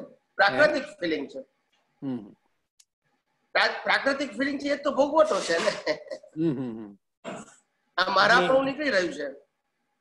હા દિલીપમાંથી મારા પ્રભુ નીકળી રહ્યું છે? આ મારું છે નીકળી રહ્યું છે નીકળી રહ્યું છે. અને એની અસર છે. એટલે આપણે તો છૂટાપણું પછી કે ભાઈ આપણે શુદ્ધાત્માને કુદરતી રચના જ જોઈએ છે પ્રકૃતિ આ પ્રકૃતિનો હિસાબ પ્રકૃતિનો પ્રકૃતિ સાથેનો હિસાબ છે. હમ હમ. બરાબર. કવિરાજ પદ્મા લખી હતી ને? સામે છતાં ના ભોગવાતા ખાણા પીણા હાય કરમ. ખ્યાલ આવ્યો? બરાબર. તર છોડથી આ દુનિયામાં બંધાય છે અંતરાય કરમ. બરાબર. એટલે ભેગું જ ના થાય. આમે હોય તો ભોગવી ના શકીએ. મીઠાઈની દુકાનમાં મીઠાઈ જોવા મળે પણ ખાઈ ના શકીએ. એટલે એટલે મારો કહેવાનો એક જ હતો કે આપણા એટલે સાયન્સ આ તો દાખલો એમ દરેક સંજોગોમાં હામે હોય તો ભોગવી ના શકીએ. અરે ભાઈ તમારી પાસે બધી વસ્તુ ઘરમાં પડી છે પણ ડોક્ટરે કીધું કે તમને ડાયાબિટીસ છે તો શું થાય? બધી મીઠાઈઓ છે પણ ખવાય નહીં તમારાથી. બરાબર એટલે સામે એટલે આ બધા હિસાબ છે પણ આ બધી પ્રકૃતિની વાત છે. આત્માની. વાત નથી આ. ના એટલે આપ- આપણે એવું સમજવા માંગીએ છીએ કે સાયન્ટિફિક આપણા તરફથી તો આપણે એને પ- રત્ના અને શુદ્ધાત્મા જ જોઈએ છે. પણ એની એનો જે ભાવ છે એની સાયન્ટિફિક ઇફેક્ટ આપણને શું થાય એમ? આપણે જેને અલગ જોતા આપણને થવી જોઈએ નહીં. આપણને નથી થતી. આપણે રહી છીએ ને આપણે જોઈએ છીએ. પ્રકૃતિ પ્રકૃતિના પરિણામ પ્રકૃતિના પરિણામના ભાગમાં અસર હોઈ શકે. પણ આપણી જાગૃતિ એ અસરથી મુક્ત રહી શકે છે. બરાબર છે. પ્રકૃતિને જે અસર થાય ને એનાથી આપણું આ વિજ્ઞાન તમને પ્રકૃતિની અસરોથી મુક્ત કરે છે. પ્રકૃતિને અસર થાય પણ પ્રકૃતિની અસર પ્રતિષ્ઠિત આત્માને ના થાય એવું આ વિજ્ઞાન છે. એટલે મેચ્યોર માણસના ઇફેક્ટ જે ભાવ છે એને માઇનોર બાળકના ભાવ છે એની. આપણે તો બે સરખું જ જોવાનું એમ.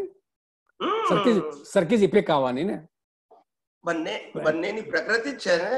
હા બરાબર. બરાબર. બને. બંને બંનેની પ્રકૃતિ કુદરતી રચના છે એટલે બંનેના હિસાબ. બરાબર. બાકી ઓલો તો બુદ્ધિથી વાત જો પેલું હોય છે નાના આને બધું ઓછી નિર્દોષપણે વાત પેલું હોય છે એનું Behavior. એટલે એટલે એને જે ભોગવટો કહેવાય ને સાહેબ. એને જ ભોગવટો કહેવાય. આજે આજે આપણા એક સંબંધી હોસ્પિટલમાં હોય અને આપણે ઘેર બેઠા હોય અને ત્યાં મળવા ના જવાય. ફોન ઉપર વાત કરીએ એટલે શું થાય? એટલે આ એકબીજાનો ભોગવટો.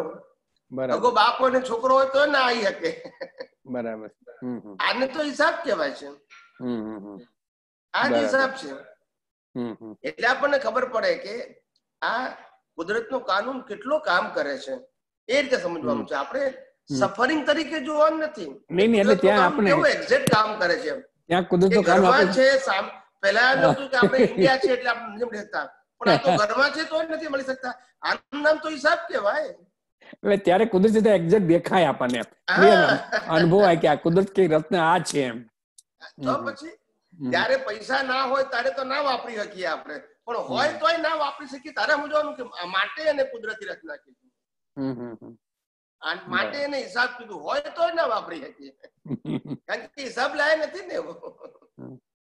એટલે એક્ઝેક્ટ ફીલ થાય કુદરતી રચના ખરેખર હું છે સિચ્યુએશન એટલે ઘણા ઘણા ઘણા એવા એવા મોટા મોટા માણસો છે કે જે અબજોપતિ છે.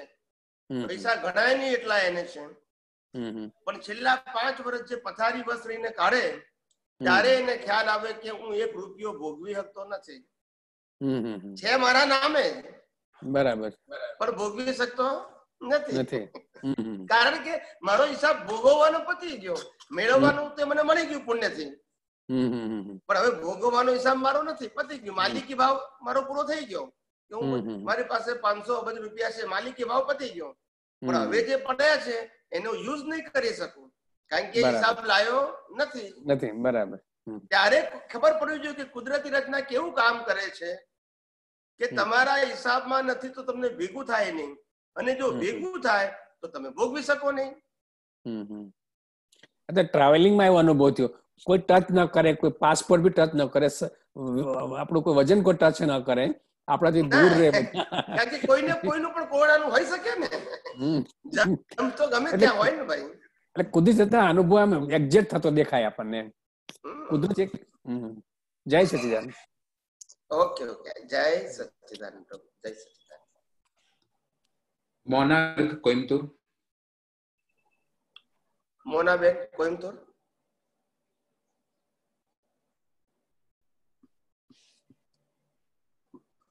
અનમ્યુટ કરજો મોનાબેન ક્યાં છે જય સચિદાનંદ સ્વામીજી જય જય સચ્ચિદાનંદ હા ક્યાં દેખાતા નથી દેખાતા નથી હા નીચે છે હા હા સ્વામીજી હા બોલો બોલો મનાબેન બોલો જય જય સચ્ચિદાનંદ થોડું લાઉડલી બોલો અવાજ બહુ ધીરો છે લાઉડલી બોલો હાજી હા અ, સ્વામીજી મેં પહેલા પ્રશ્ન પૂછ્યો હતો ને એ નિગોદના રેફરન્સમાં પૂછવું હતું કે તમે કીધું હતું કે નિગોદના જીવને સુખ દુઃખની ફિલિંગ ના હોય. અને એના માટે તમે કીધું હતું કે જેમ કોઈ જીવ કોમામાં હોય તો એને જેમ સુખ દુઃખનો અનુભવ નથી થતો. જી. તો સ્વામીજી મારો પ્રશ્ન એ છે કે કોમા એ કર્મનું ફળ છે ને? ઓફકોર્સ તો ડિસ્ચાર્જ પ્રતિષ્ઠિત આત્મા એને ભોગવે છે ને? એ હા હા ભોગવે છે ને. તો એટલે એનો અર્થ તો સુખ દુઃખ એને દુઃખનું ફિલિંગ અંદર છે જ.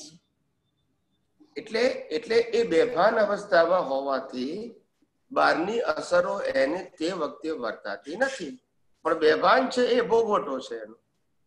પણ બેભાન થઈને જે પ્રાકૃતિક ભોગવટો છે એ એને નથી ભોગવાતો કારણ કે બેભાન છે ઇનએક્ટિવ છે. ઇન્દ્રિય જ્ઞાનમાં ઇનએક્ટિવ થઈ ગયો છે. આ જ એનો ભોગવટો છે. અચ્છા એટલે એને ઇન્દ્રિયો જે કામ નથી કરી રહી એ જ એનો ભોગવટો છે. હા ધારો કે ધારો કે માણસ બેભાન થઈ ગયો પછી મારી પાસે પાંચ કરોડ રૂપિયા છે એનું સુખ લાગે ને ના લાગે હા. ના લાગે. પછી પાંચ કરોડ નુકસાન થઈ ગયું તો એ દુઃખ લાગે ને ના ના લાગે. ના લાગે. એટલે પ્રાકૃતિક ભોગવટો છે એને નથી બેભાન અવસ્થામાં. અચ્છા. પણ બેભાનપણાનું પણ બેભાનપણાની અંદર એ બીજી રિલેટિવ સત્યને ફીલ કરી શકતો નથી. પણ આ જે બેભાન અવસ્થાની અંદર એની પાસે અંદર જે જ્ઞાન દર્શન જે છે એની પાસે સત્તામાં અને એનું જે ડેવલપમેન્ટ છે એના આધારે પુરુષાર્થ કરી શકે છે. હા હા. પણ મન વચન કાયા અને ઇન્દ્રિય જ્ઞાનથી જે પુરુષાર્થ હતો એ એ ભાગમાં સાયલેન્ટ છે. બરાબર. પણ પોતાનું જે અંદર જ્ઞાન દર્શન છે કારણ કે મેં પહેલા કીધેલું કે લાઈવ પ્રતિષ્ઠિત આત્મા ક્યારે બેભાન થતો નથી. નથી. અને લાઈવ પ્રતિષ્ઠિત આત્માને પુરુષાર્થ કરવાનો છે. હવે લાઈવ પ્રતિષ્ઠિત આત્મા આ ઇન્દ્રિય આ દેહની જાગૃતિ અને પાંચ ઇન્દ્રિયોની જાગૃતિ જે પુરુષાર્થ કરતો હતો એ પુરુષાર્થ બંધ થઈ ગયો. બરાબર. પણ એની અંદર જે જ્ઞાન દર્શન છે એનું જે ડેવલપમેન્ટ છે એના આધારે તો એ પુરુષાર્થ કરી શકે છે અંદર. એટલે એનો દેહાધ્યાસ તો ત્યારે છે જ ને? છે જ. એટલે કર્મ બંધાય પણ છે. તો એ કેવા કર્મો બંધાય સ્વામીજી દેહાધ્યાસ એ એ એ એ કર્મ એ કર્મ બધા બંધાય એ વ્યક્તિગત ઉણાનુબંધના ના હોય. પણ એની અંદર જે જેવો જેવો એના જ્ઞાન અને દર્શન જે મિથ્યા જ્ઞાન ને મિથ્યા દર્શનના જેવા પરિણામ હોય એવા એને ભોગવટા બેભાન અવસ્થામાં આવે. બેભાન અવસ્થા બે પ્રકારની હોય બેભાન હોય એને પણ બેભાન કહેવાય અને ઊંઘી ગયો એને પણ બેભાન જ કહેવાય.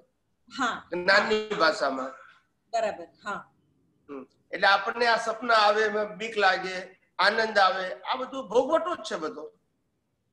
પણ એમાં દેહ સંકળાય દેહ અને ઇન્દ્રિય જ્ઞાન નથી સંકળાયેલું બસ. પણ એની બિલીફો બધી જાગૃત છે. બિલીફ તો હોય ને જાગૃત.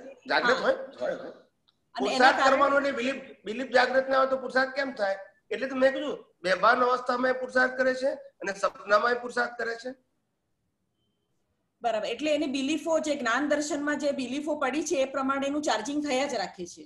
હા જ્યારે તમે નિગોદમાં શું છે એનું ડેવલપમેન્ટ જ નથી. અચ્છા. નો ગ્રોથ ઇવન તો ઇન્દ્રિય જ્ઞાન પણ નથી એની પાસે. બરાબર. ત્યારે આ તો માણસ બેભાન થયો શું ઇન્દ્રિય જ્ઞાનમાં તો વિકાસ થઈ ગયો પાંચ ઇન્દ્રિયોમાં? બુદ્ધિ પણ પ્રાપ્ત થઈ ગઈ અને મનુષ્ય ભવનાએ કેટલા અવતારો કાઢી નાખ્યા? હવે આ અવતારમાં ખાલી દેહ બેભાન થઈ ગયો. પણ જે જ્ઞાન દર્શન છે ડેવલપમેન્ટ છે એ તો અંદર પડ્યું છે ને? હા હા. એટલે એ તો કામ કરે કે ના કરે? હા એ તો કામ કરે છે હા. ધેટ્સ ઇટ નિગોદમાં તો એ છે જ નહીં. નિગોદમાં તો ઇન્દ્રિય જ્ઞાનનો વિકાસ નથી થયો જેને આપણે પ્રાથમિક કહીએ. હા. પ્રાઇમરી ડેવલપમેન્ટ પણ નથી એમાં તો. તો એને હું છું એવું ભાન હોય એટલે દેહાસ તો થયો જ કહેવાય ને? એ એ ભાન ખરું. હું છું તો ભાન હોય. આત્માનું અસ્તિત્વ હોય ને ભાન તો હોય જ ને. પણ એ એ ભાન ભાન બેભાન જેવું જ હોય. અચ્છા. એટલે એને જ્ઞાન દ- દેહાદ્યાસ આમાં આમાં બે પ્રકારનું બેભાન છે. એક જ્ઞાન દર્શન વાળું બેભાન એક જ્ઞાન દર્શન વગરનું બેભાન. હા. એટલે એને જ્ઞાન that is a fundamental difference હા. એટલે એનો ડેવલપમેન્ટમાં નથી ગયો એટલે જ્ઞાન દર્શન એનું કોઈ છે જ નહીં. હા ડેવલપ થયું નથી. ડેવલપ થયો નથી. એટલે જ્ઞાન કોઈ દર્શન પ્રોસેસમાંથી કોઈ પણ પ્રોસેસમાંથી પાસ જ થયો નથી હજુ. હા. એટલે એમાં એનું શૂન્ય ડેવલપમેન્ટની પ્રોસેસમાંથી પાસ થાય તો મેચ્યોરિટી આવે ને. હા હા. કેમ કે માણસ માર ખાઈને ગળાય છે. હા બરાબર. હવે કોઈ માણસ તમે નાની ઉંમરથી તમારે બધી જ જાતની અનુકૂળતા આપી દો. ખાવું પીવું રહેવું આ તે બધી અનુકૂળતા. જે માંગો બધું આપી દો ને અને પછી પચાસ વર્ષ સુધી તમે બધી ફેસિલિટી આપી. પછી પચાસ વર્ષ પછી તમે નથી. પણ એનું અસ્તિત્વ છે. હવે જયારે મુશ્કેલી આવે ત્યારે બહુ ભારે પડે. કારણ કે મેચ્યોર થયો નહીં હા. પણ જો નાની ઉંમરથી એને પ્રોબ્લેમ થયા હોય અને ઘડી ગયો હોય તો પછી એ પ્રોબ્લેમ પચાસ વર્ષે પ્રોબ્લેમ લાગે નહીં. બરાબર. એવી રીતે. એટલે એટલે એટલે બે રીતનું છે. એક તો પેલો જે મેચ્યોર નથી થયો ડેવલપમેન્ટમાં એના આધારે એને કોઈ ભોગવટો જ નથી અને પુરુષાર્થ નથી. અહીંયા આગળ મનુષ્યમાં આયા પછી પણ ડેવલપ થયો નથી ભૌતિક બાબતમાં એટલે એને ભોગવટો ઓછો છે. પછી એ ભૌતિક બાબતમાં ડેવલપમેન્ટ થાય પછી પાછો ભોગવટો વધારે લાગે. હા હા. એ કઈ રીતે? હું તમને સ્થૂળ સમજાવું. ભાઈ હું ગામડામાં રહું છું અને ખેતી કરું છું અને ઝાડ નીચે સુઈ જઉં છું તો મારા પાસે બે કપડા છે તો મને આનંદ છે? હું. કુવાના પાણીથી નાહી લઉં છું પાણી પી લઉં છું ને રોટલો મને રોટલો મરચું છાસ દૂધ ને દહીં ખાવા મળે છે તો મને સંતોષ છે. અને ખેતી કરીને હું મહેનત કરું છું અને કુદરત ચારે કોર મને દેખાય છે હવા પાણી ખોરાક મને મળે છે. મારી બીજી કોઈ જરૂરિયાત નથી તો પછી મારું સફરિંગ ઓછું છે. પણ મારે બંગલા જોઈએ મોટર જોઈએ સ્ટેટસ જોઈએ એજ્યુકેશન જોઈએ ડિગ્રી જોઈએ રિલેટિવ સત્યની બધી વસ્તુ જોઈએ. હવે જો ના મળે તો ભૂકોટો વતન વધારે લાગે. Because of your requirement you are suffering more પણ સ્વામીજી એનો એ નથી ને કે એની અજ્ઞા ડેવલપ નથી થઈ પણ એની પ્રજ્ઞા બી તો ડેવલપ નથી થઈ ને? હા એટલે એટલે આ બધું અજ્ઞાનને કારણે જ છે ને. ના ગામડાના પ્રજ્ઞા ડેવલપ થાય પ્રજ્ઞા ડેવલપ થાય તો આ ભોગવટ અને ઉદય કર્મ કહેવાય છે. હા બરાબર. અને જો પ્રજ્ઞા નથી તો અજ્ઞાન એ ઉદય કર્મ પણ છે અને સફરિંગ પણ છે અંદરનું પણ. બરાબર હા. અને જો પ્રજ્ઞા જાગ્રત છે તો બહાર ભોગવટો છે પણ અંદર સફરિંગ નથી કારણ કે છૂટો રહે છે. હા હા. હવે ખ્યાલ આવ્યો? હા ખ્યાલ આવ્યો. એટલે રામકૃષ્ણ મહાવીરને પણ ભોગવટો હોય પણ જ્ઞાન એવું હોય કે છૂટા રહેતા હોય તો બાર ભોગવટો છે. દુનિયાને ભોગવટો લાગે ઇતિહાસમાં. એને ભોગવટો ના હોય. બરાબર. કારણ કે એને દેહાધ્યાસ જ નથી. તો સ્વામીજી આ બુદ્ધિ બુદ્ધિનો વિકાસ અને દેહાભિમાન એ વચ્ચે કઈ કનેક્શન ખરું? બુદ્ધિનો વિકાસ અને બીજો શબ્દ કયો બોલે અને દેહાધ્યાસ. આ બુદ્ધિ બુદ્ધિનો વિકાસ કહીએ છે ને એમાં બે પ્રકારની બુદ્ધિ છે. એક સમ્યક અને એક મિથ્યા. મિથ્યા બુદ્ધિ એટલે દેહાદ્યાસ જ કહેવાય. સમ્યક બુદ્ધિ એટલે દેહાદ્યાસથી છૂટવાની કળા. કે દ્રષ્ટિ. બાકી મિથ્યા બુદ્ધિ એટલે દેહાદ્યાસ જ છે. હું શરીર છું આ મારું છે આ મેં કર્યું આ તે કર્યું આ તારું છે. આ બધું રિલેટિવ સત્ય બધું દેહાદ્યાસ જ છે. તો સ્વામીજી એ રિલેટિવ સત્ય આ જે રિલેટિવ જે છે દેહ આ એ તો એ ગામડાનો અભણ માણસ જે છે એને પણ હું આ દેહ છું એવું જ અંદર હોય ને એને પણ? એનો હોય ને સો ટકા હોય. એટલે એટલું દેહાધ્યાસ તો ખરો જ ને એને પણ? દેહાધ્યાસ તો ખરો. હા. પણ કુદરતનો કાનૂન શું કે છે કે જેટલી ઈચ્છાઓ ઓછી એટલી ઉપાધિ ઓછી હા. જેટલી ઈચ્છા વધારે એટલી ઉપાધિ વધારે. પ્રશ્ન પ્રશ્ન દેહાદ્યાસ તો બંનેને છે પણ તમારી ઈચ્છા ઓછી છે તો તમને ઉપાધિ ઓછી છે. હા. ઈચ્છા વધારે છે તો ઉપાધિ વધારે છે. એટલે મેં એક જૈન સાધુ પાસે મેં મને પૂછ્યું છું મેને મેં કીધું મને કે મોક્ષ અને સંસારી વચ્ચે ફેર શું? તો મેં કીધું કે ઈચ્છા સાથે મરવું એનું નામ મૃત્યુ. તો કીધું ઈચ્છા સાથે મરવું એનું નામ એનું નામ મૃત્યુ. અને ઈચ્છા વગર મરવું એનું નામ મોક્ષ. મોક્ષ. હા. ઈચ્છા જ નથી તો પછી? હા. મારી વાત સમજાય? હા હા એટલે સાદી ભાષામાં મેં વાત કરી. એટલે કહેવાનો મતલબ આપણે દાદા ભગવાને પણ કીધું કે ઈચ્છા એ પ્રગટ અગ્નિ છે. અને એક ઈચ્છા પૂરી થાય એટલે ઓલવાય પાછી નવી શરૂ થાય બીજી. પાછી ઓલવાય પછી ત્રીજી શરૂ થાય. એ માણસ આખી જિંદગી હળગ્યા જ કરે છે. ક્યાં સુધી? જ્યાં સુધી છેલ્લું હળગે નહીં ત્યાં સુધી. એટલે એનો મતલબ એમ થયો કે ઈચ્છા જેની ઓછી હોય એનો એને દેહાદ્યાસ કાઢવો સહેલો પડી જાય. હા મોડો કહેવાય મોડો કહેવાય. પણ એને ડેવલપમેન્ટ જોઈએ પાછું તો થાય. હા. સરળ હોવું is equal to not development પણ સરળ હોવું એટલે સફરિંગ ઓછું લાગે. બરાબર હા. પણ સરળતાની સાથે જો ડેવલપમેન્ટ હોય તો જે આધ્યાત્મિક વિકાસ કરી શકે. સરળતાની સાથે ડેવલપમેન્ટ ના હોય તો આધ્યાત્મ વિકાસ ના થાય પણ જીવન એનું શાંત હોય સરળ હોય ભોગવટો ઓછો હોય ઉપાધિઓ ઓછી હોય. ખ્યાલ આવ્યો ને? અપેક્ષાએ ઓછી હોય એ રીતે સરળ જીવન લાયો હોય. પણ સરળ જીવન નોટ ઇઝ ઇક્વલ ટુ જ્ઞાની. હા. એ આધ્યાત્મિક નથી. આધ્યાત્મિક જીવન માટે તો પછી દ્રષ્ટિ જોઈએ ડેવલપમેન્ટ જોઈએ. પેલી પ્રકૃતિની બાહ્ય સરળતા છે તો બાહ્ય ઉપાધિ ઓછી લાગે. પણ જો ડેવલપમેન્ટ ના હોય તો ડેવલપમેન્ટ ના હોય તો વિકાસ ના થાય આધ્યાત્મિક વિકાસ ના થાય. ના થાય. પણ રાગ બેસ એના મોળા પડે. બહુ અપેક્ષા ના હોય એટલે. બરાબર. સમજાય ને? હા સ્વામીજી હા. Okay okay. જય સચિદાન જય સચ્ચિદાનંદ ભારતીબેન ઠક્કર ડોંબીવલી.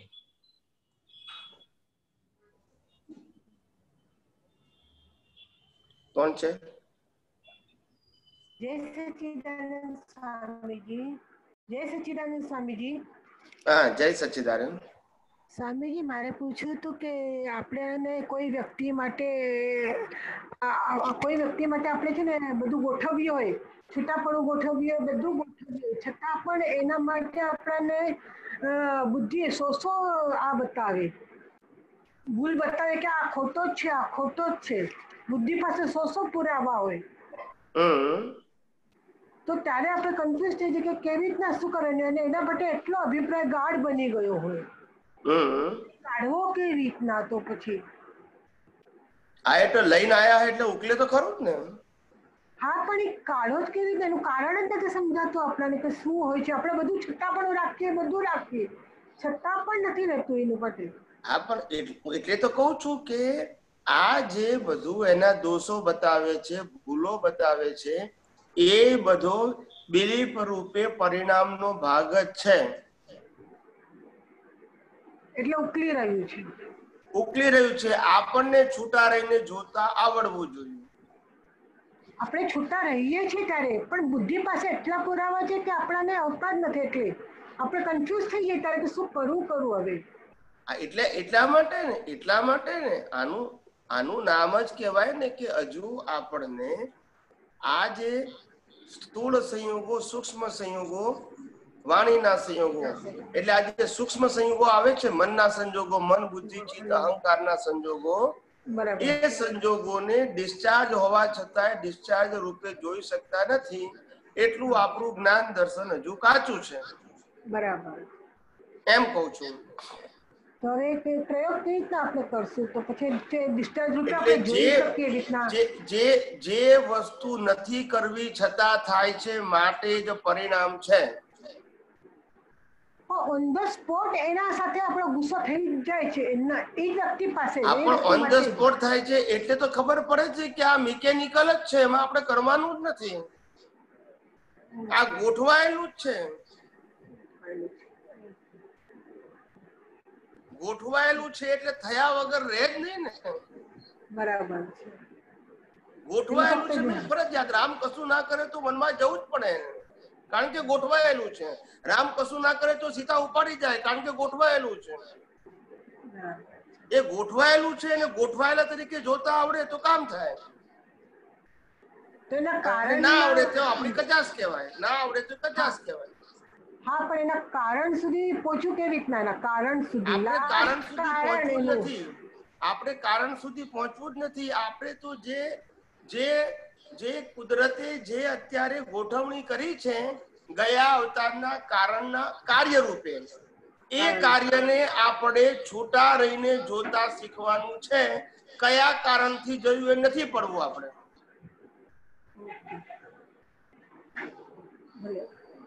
સમજાયું કે નહીં? હા સમજાયું. પણ હજી મને જરા નથી. રામને રામને એ નથી જાણવું કે મારો વનવાસ કેમ આવ્યો રામને એ જાણવું હતું કે આ બહારના રામથી હું જુદો છું અને બહારનો રામ આ કુદરતી રચના છે આટલું જાણેલું પૂરતું છે.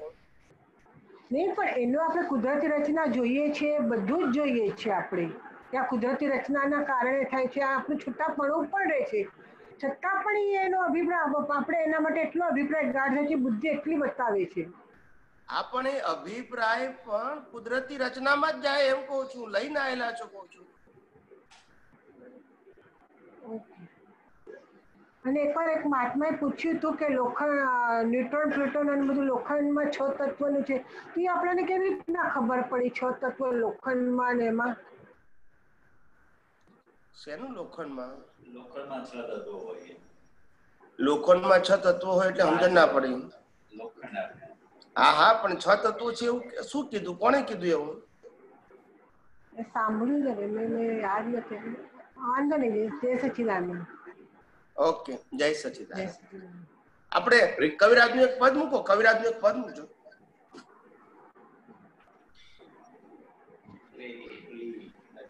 કુદરતમાં જે બધું બધું એમ પાંચ તત્વો હોય ને. એટલે તો જ્યારે એની તત્વ ઉગે ને અવસ્થા રૂપે હોય ત્યારે તત્વ રૂપે નહીં પણ અવસ્થા અવસ્થા રૂપે હોય. તમે આ લોખંડનો પંખો છે તેને દરની સાઈડથી સાઈડ એટલું રાખજો.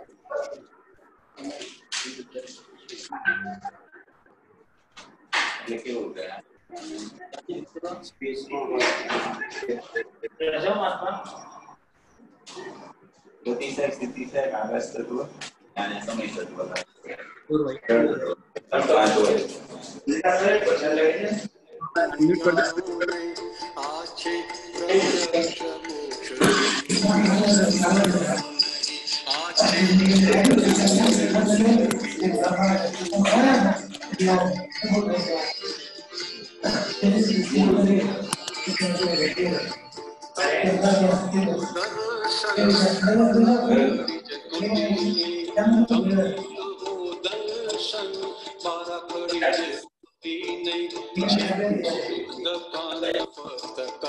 શાહી ખૂટી ગઈ છે અબૂદ પાન ફક્ત કલમ શાહી ખૂટી ગઈ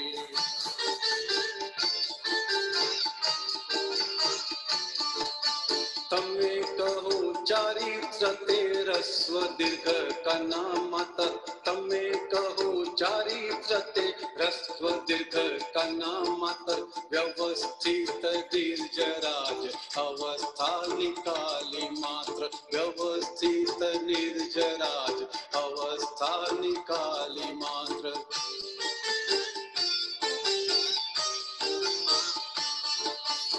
में कहो हृदय तप्ते अनादि तिज उकड़तो तमे कहो हृदय तप्ते अनादि तिज उकड़तो तार जोड़ो मूड़ाक्षरे आत्मा निर्भेद हूँ। तार जोड़ो मूड़ाक्षरे आत्मा निर्भेद हूँ।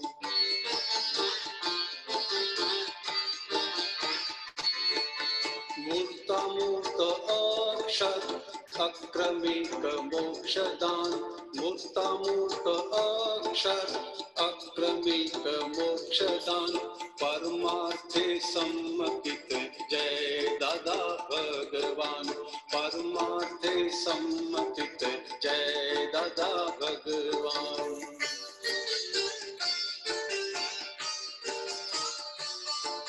જય સચ્ચિદાનંદ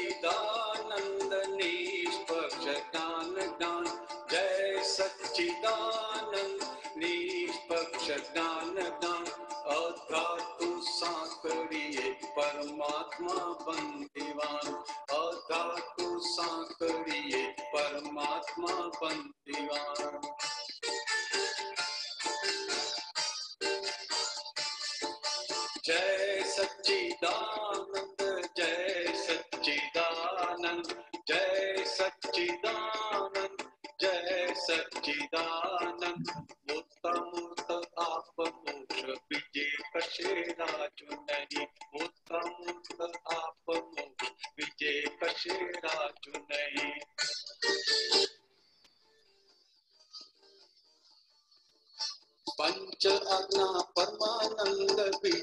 કશે રાજુ નહીં પંચ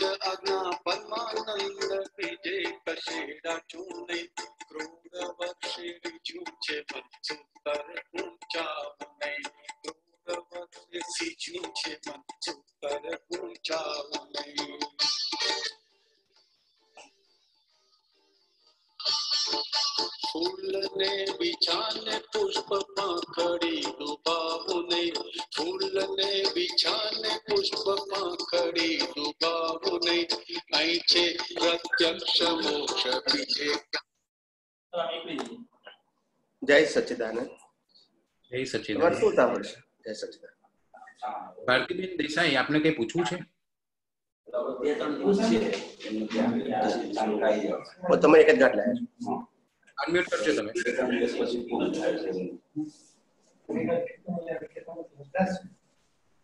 જય સચ્ચિદાનંદ. જય સચિદાનંદ સ્વામીજી કોટી કોટી. જય સચ્ચિદાનંદ. જય સચિદાનંદ તમને આ જે જૈન પૂતગલ મળ્યું છે અને તમે હમ. ક્ષત્રિય. ક્ષત્રિય છો પક્કા. એમાં જરાય ડાઉટ નથી. હંડ્રેડ પર્સન્ટ કોટી કોટી પ્રણામ. આ ઉઘાડ તમે આપ્યો છે અમારું જીવન બદલી કાઢ્યું જી જી. આપ શું આપ શું પ્રવૃ- પ્રવૃત્તિ શું કરો છો અત્યારે? હાઉસ વાઇફ છો? હાઉસવાઈફ છું. પહેલા રિટાયર્ડ છું. પહેલા કઈ પહેલા કઈ જોબ કે પ્રોફેશન કરતા હા કરી છે ને કરી છે જોબ અચ્છા. એટલે કોઈ પર્ટિક્યુલર પ્રોફેશન તરીકે કે નોર્મલ જોબ છે? નોર્મલ જોબ ફાર્મસીમાં હતી ટેકનિશિયન ઓ ઓ એટલે યુ આર ફાર્મસિસ્ટ અહીંયા આવીને ભણી નથી આમાં જ એન્ટર થઈ ગઈ હતી. હા. બરાબર છે. બરાબર એટલે એટલીસ્ટ પચીસ એક વર્ષ કરી જોબ. હા ને હવે બે વર્ષથી રિટાયર્ડ છે. બરાબર છે બરાબર. એટલે તમારા તમારા હસબન્ડ શું હસબન્ડ શું કરે છે? એ બી કેમિકલ એન્જિનિયર છે. એ બી અત્યારે પાર્ટ ટાઈમ જોબ કરે છે. કરે છે. યાર. ના જેન્ટ્સ ને તો જોબ ના કરે તો એને કંટાળો આવી જાય પછી. હા ઘરમાં થોડા થાય છે. કારણ કે તમે શું લેડીઝ તરીકે ઘરમાં કઈ કઈ કામ કરો પણ એ લોકોને કઈ કામ ના હોય તો કંટાળી જાય. હા હા. એટલે પાર્ટ ટાઈમ જોબ કરે ને તો એમ લાગે કે કઈ એક્ટિવિટીઝ છે હા હવે આમાં ટાઈમ વધારે આપવો છે એટલે નથી કરવી જોબ ના ના એ તો આપણે જરૂર ના હોય તો કરવાની બિલકુલ જરૂર નથી. જરૂર નથી. પૈસા કમાવા માટે જોબ કરવાની જરૂર નથી. આપણે ખ્યાલ ગયો ને? પણ આપણે બોડીને એક્ટિવ રાખવા માટે કઈ નું કઈ કઈ નું કઈ કર્યા કરવું કે જેથી આપણું મન છે ને કુદાકુદ ના કરે. હા હા. કોઈ પણ સારા કામમાં રોકી મન વચન કાયને રોકી દઈએ ને તો પછી કુદાકુદ. ના કરે. બરાબર હા. એવી રીતે. ગમે તે કોઈ પણ સારું કામ હોય. એવું નહીં કે બહાર જઈને કરવું ઘરમાં બેઠી ના કરાય. કોઈ સારું પુસ્તક વાંચ્યું હોય કોઈ સારું સંગીત સાંભળતા હોય. કુદરતી રચનાના દ્રશ્યો જોઈએ. કોઈ મહાન પુરુષોની વાતો સાંભળવાની. શેના માટે? કે ભાઈ આપણું સનાતન સત્ય છે એ મજબૂત કરવું છે અને એમાંથી. કંઈક પોઈન્ટ કોર્નર મળતો હોય તો આપણે એમાં સેટ કરવો છે. સેટ કરવો છે બરાબર. હા. અને નહીં તો સામાન્ય ભાવે સાંભળીને બાયપાસ પણ બીજું કોઈ. બીજું કોઈ રાગદ્વેષ વાળા સંજોગો નથી ને that is good. For us હા બરાબર છે. આવી રીતે. બરાબર છે હા. આપણે આપણો આપણો કોન્સેપ્ટ શું હોવો જોઈએ કે હવે મને આ જગતનું સનાતન સત્ય તો સમજાઈ ગયું છે.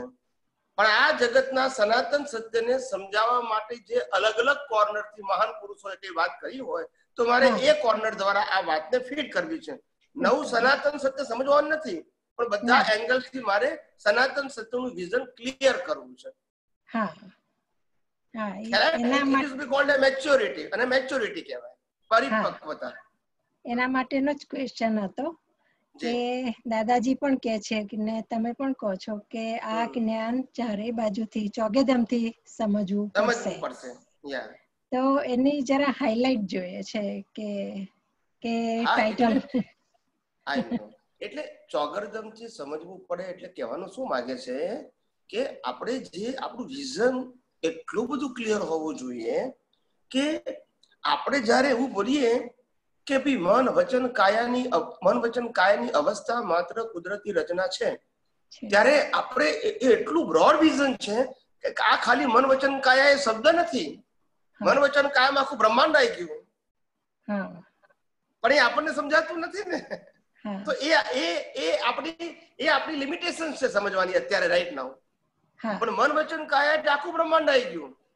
આ મન વચન કાયા એટલે આ વાણી ક્રિયા મન એટલે અંતસ્કરણ પાંચ ઇન્દ્રિયોથી અનુભવાતી આખી દુનિયા અને દુનિયાને જોવાની જે રીત છે સાંભળવાની રીત છે સૂંઘવાની રીત ચાખવાની રીત સ્પર્શ કરવાની રીત આ બધી જ વસ્તુઓ કુદરતી રચનામાં આવે. અને આ બધી જ વસ્તુઓને દેહાધ્યાસ કહેવાય એટેચ થઈ જાવ તો. હા બરાબર. અને ડિટેચ રહો તો તમારા માટે કુદરતી રચના છે. You are not responsible only હિસાબ. હા હિસાબ.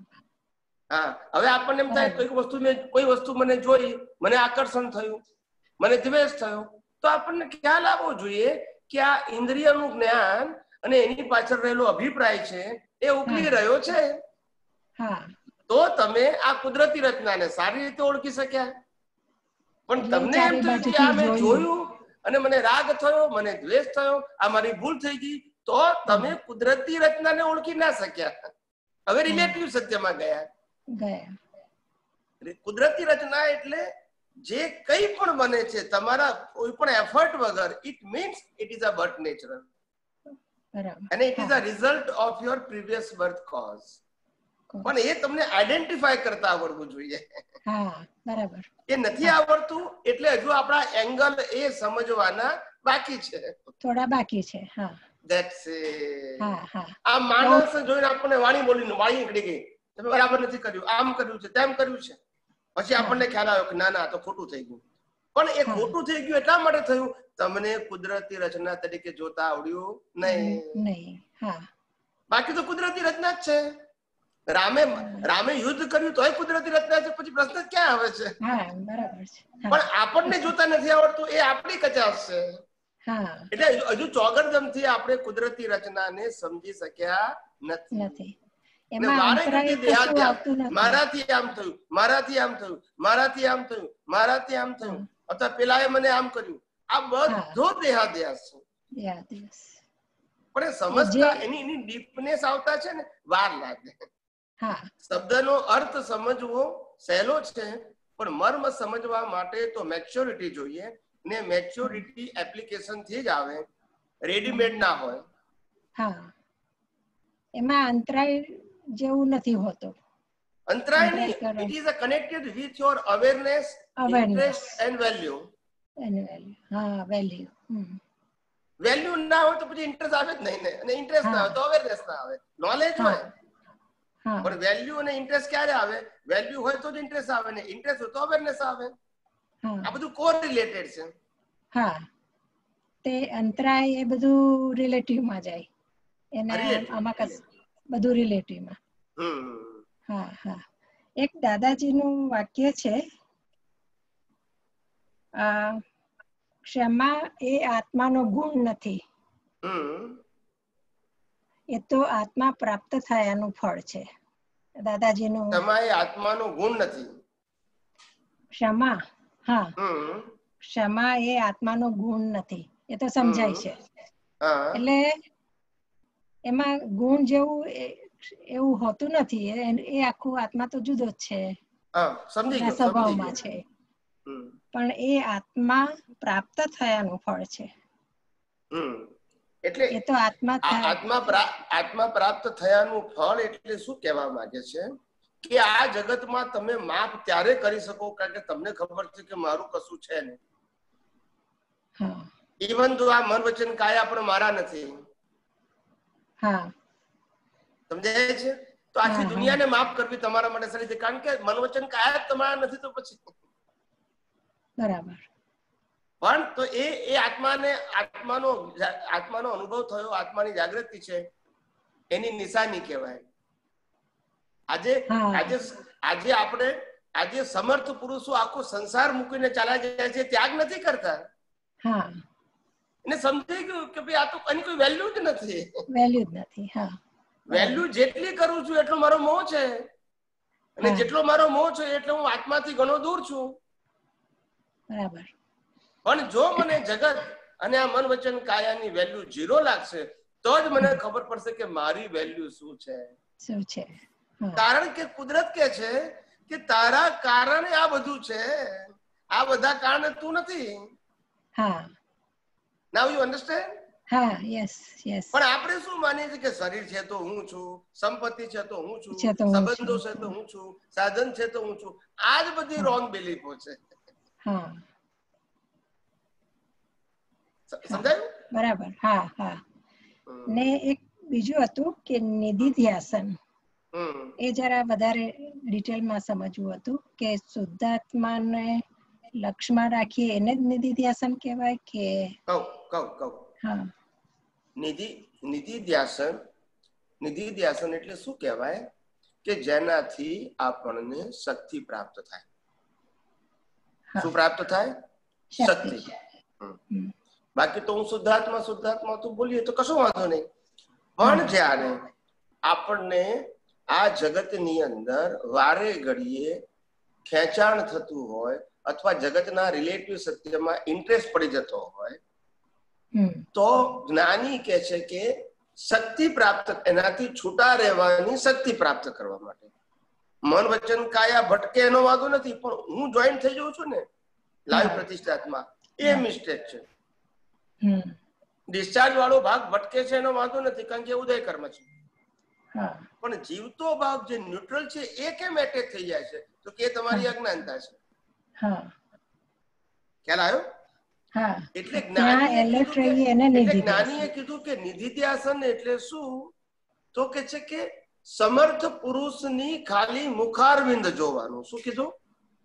મુખારબિંદ સમર્થ પુરુષનું મુખારબિંદ જેને આપ્યું ભાન નિજ તેને સદા પ્રણામ. સદા પ્રણામ. જે સ્વરૂપ સમજ્યા વિના પામ્યું દુઃખ અનંત સમજાવ્યું તે પદ નમું શ્રી સદગુરુ ભગવાન. સમજાય છે? અને એમને જેને મને શુદ્ધાત્મા પદનું ભાન આપ્યું આ જગતનું સનાતન સત્ય સમજાયું એને હું પ્રણામ એટલા માટે કરું છું કે જ્યારે પણ મને મુશ્કેલી આવે એમને જોઉં છું પાછી શક્તિ આવી જાય છે. અને પાછું મારો આ દેહાધ્યાસ ખલાસ થતો જાય છે અને આત્માનો આત્મા માટેનો આત્મવિશ્વાસ વધતો જાય છે. તો because of this person the nididhyasan is required required. and it is not to be called a dehadhyas No. it is to be called a powerhouse હા now, now you understand Uh હા yes. દાખલા તરીકે હું યુદ્ધના મેદાનમાં જતો હોઉં એક સૈનિક તરીકે અને મને મહારાણા પ્રતાપનું મહારાણા પ્રતાપનો ફોટો બતાવો ને તો મને સુરાધન આવે પાવર આવે છે that's it so it is a power house powerhouse you you understand હા એવી રીતે અનુભવી જ્ઞાની પુરુષનું ફેસ છે એ તો પાવર હાઉસ પાવર પણ કોના માટે પાવર હાઉસ છે? જેને એમના થકી દ્રષ્ટિ મળી છે ભાન મળ્યું છે જાગૃતિ મળી છે એના માટે. એના માટે. હા. બાકીના માટે નહીં પાછું? હા. આજે હિન્દુસ્તાનની અંદર તમે મહારાણા પ્રતાપની વાત કરો તો હિન્દુસ્તાનના લોકોને પાવર આવે અમેરિકનને ના આવે. બરાબર. Now you understand my point yes કારણ કે એને એની વેલ્યુ જ ખબર નથી ને. નથી હા એટલે જેને વેલ્યુ સમજાય છે એના માટે અનુભવી જ્ઞાની પુરુષનું મુખારવિંદ એ પાવર હાઉસ છે. બટ નોટ ફોર ઓલ હા. અને છેલ્લમ છેલ્લું નિધિ ધ્યાસન એટલે કે પોતે પોતાના શુદ્ધાત્મા પદમાંથી બહાર જ ના નીકળવું એ છેલ્લામ છેલ્લું નિધિધ્યાસન છે. પણ એ ક્યારે આવે? કે જ્યારે બધા જ રોંગ બિલીફો આપણી ખલાસ થાય ત્યારે. ત્યારે પછી એને અવલંબનની જરૂર પડે નહીં. તે જ્ઞાની પુરુષનો આપણે મુખારવિંદ એ અવલંબન કહેવાય? અત્યારે તો અવલંબન કહેવાય જ. નિરાલંબ દશા ના કહેવાય પણ એ અવલંબન નિરાલંબ તરફ લઈ જનારું છે. હા. આ જગતના અવલંબનો છોડાવવા માટે જ્ઞાની પુરુષના મુખારવિંદનું અવલંબન હેલ્પફુલ છે. અને એ અવલંબન દ્વારા શક્તિ પ્રાપ્ત કરી છેલ્લે એ અવલંબનથી પણ મુક્ત થવાનું છે. એ નિરાલંબ કહેવાય. હવે કયું અવલંબન? બસ હું નિશ્ચય નિર્ણયથી કેવળ શુદ્ધાત્મા છું. પ્રકૃતિનો એક પણ ગુણ મારામાં નથી. મારો એક પણ ગુણ પ્રકૃતિમાં નથી. ગુણે કરી બંને સર્વથા ભિન્ન છીએ. આ તો સામીપ્ય ભાવને લઈને ભ્રાંતિ ઉત્પન્ન થયેલી. જે જ્ઞાની પુરુષની જ્ઞાન દ્રષ્ટિથી વિજ્ઞાન દ્રષ્ટિથી એ નાશ થઈ ગઈ છે ભ્રાંતિ. એટલે આ અવલંબન પણ નિરાલંબ બનાવવા માટે છે. એટલે વન ઓફ ધ સ્ટેપ કહેવાય. શું કહેવાય? સ્ટેપ છે. સ્ટેપ હા. પણ ત્યાં સુધી તો અત્યારે એટલા માટે જરૂર છે આપણે નિરાલંબ સ્થિતિને પહોંચ્યા નથી માટે અત્યારે આ અવલંબનની જરૂર છે. પણ એ પરમેનન્ટ નથી. હા બરાબર બહુ સરસ વેરી ગુડ વેરી જય નાઇસ સચ્ચિદાનંદ જય સચ્ચિદાનંદ સ્વામીજી જય સચ્ચિદાનંદ જય સચ્ચિદાનંદ પ્રતિભાબેન યુકે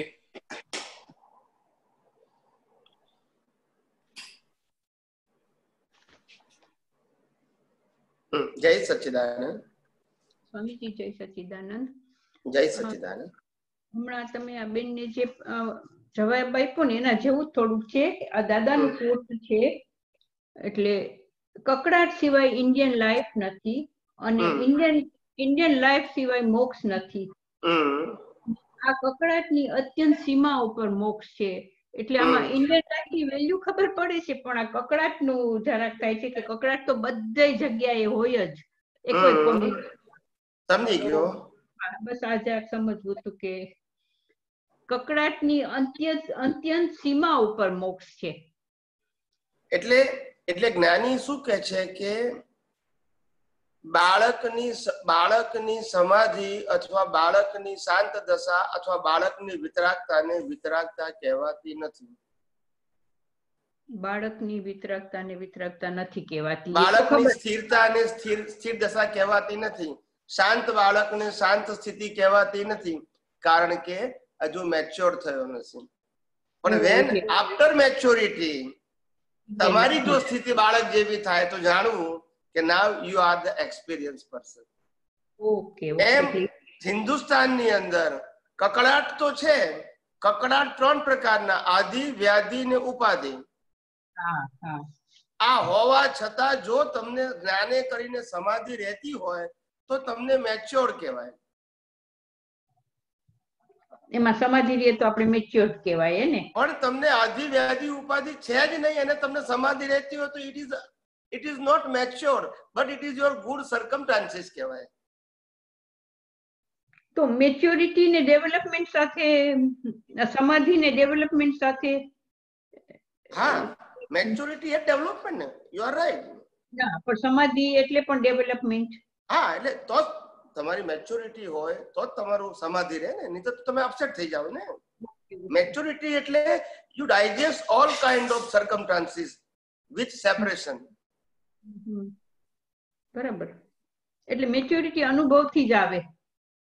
બીજો કોઈ રસ્તો નથી. એટલે વારંવાર તો હું કહું છું કે આ વિજ્ઞાનને તમારે ઉપયોગ કરવો પડશે? ખાલી વિજ્ઞાન સાંભળવાથી તમને અનુભવ નહીં થાય.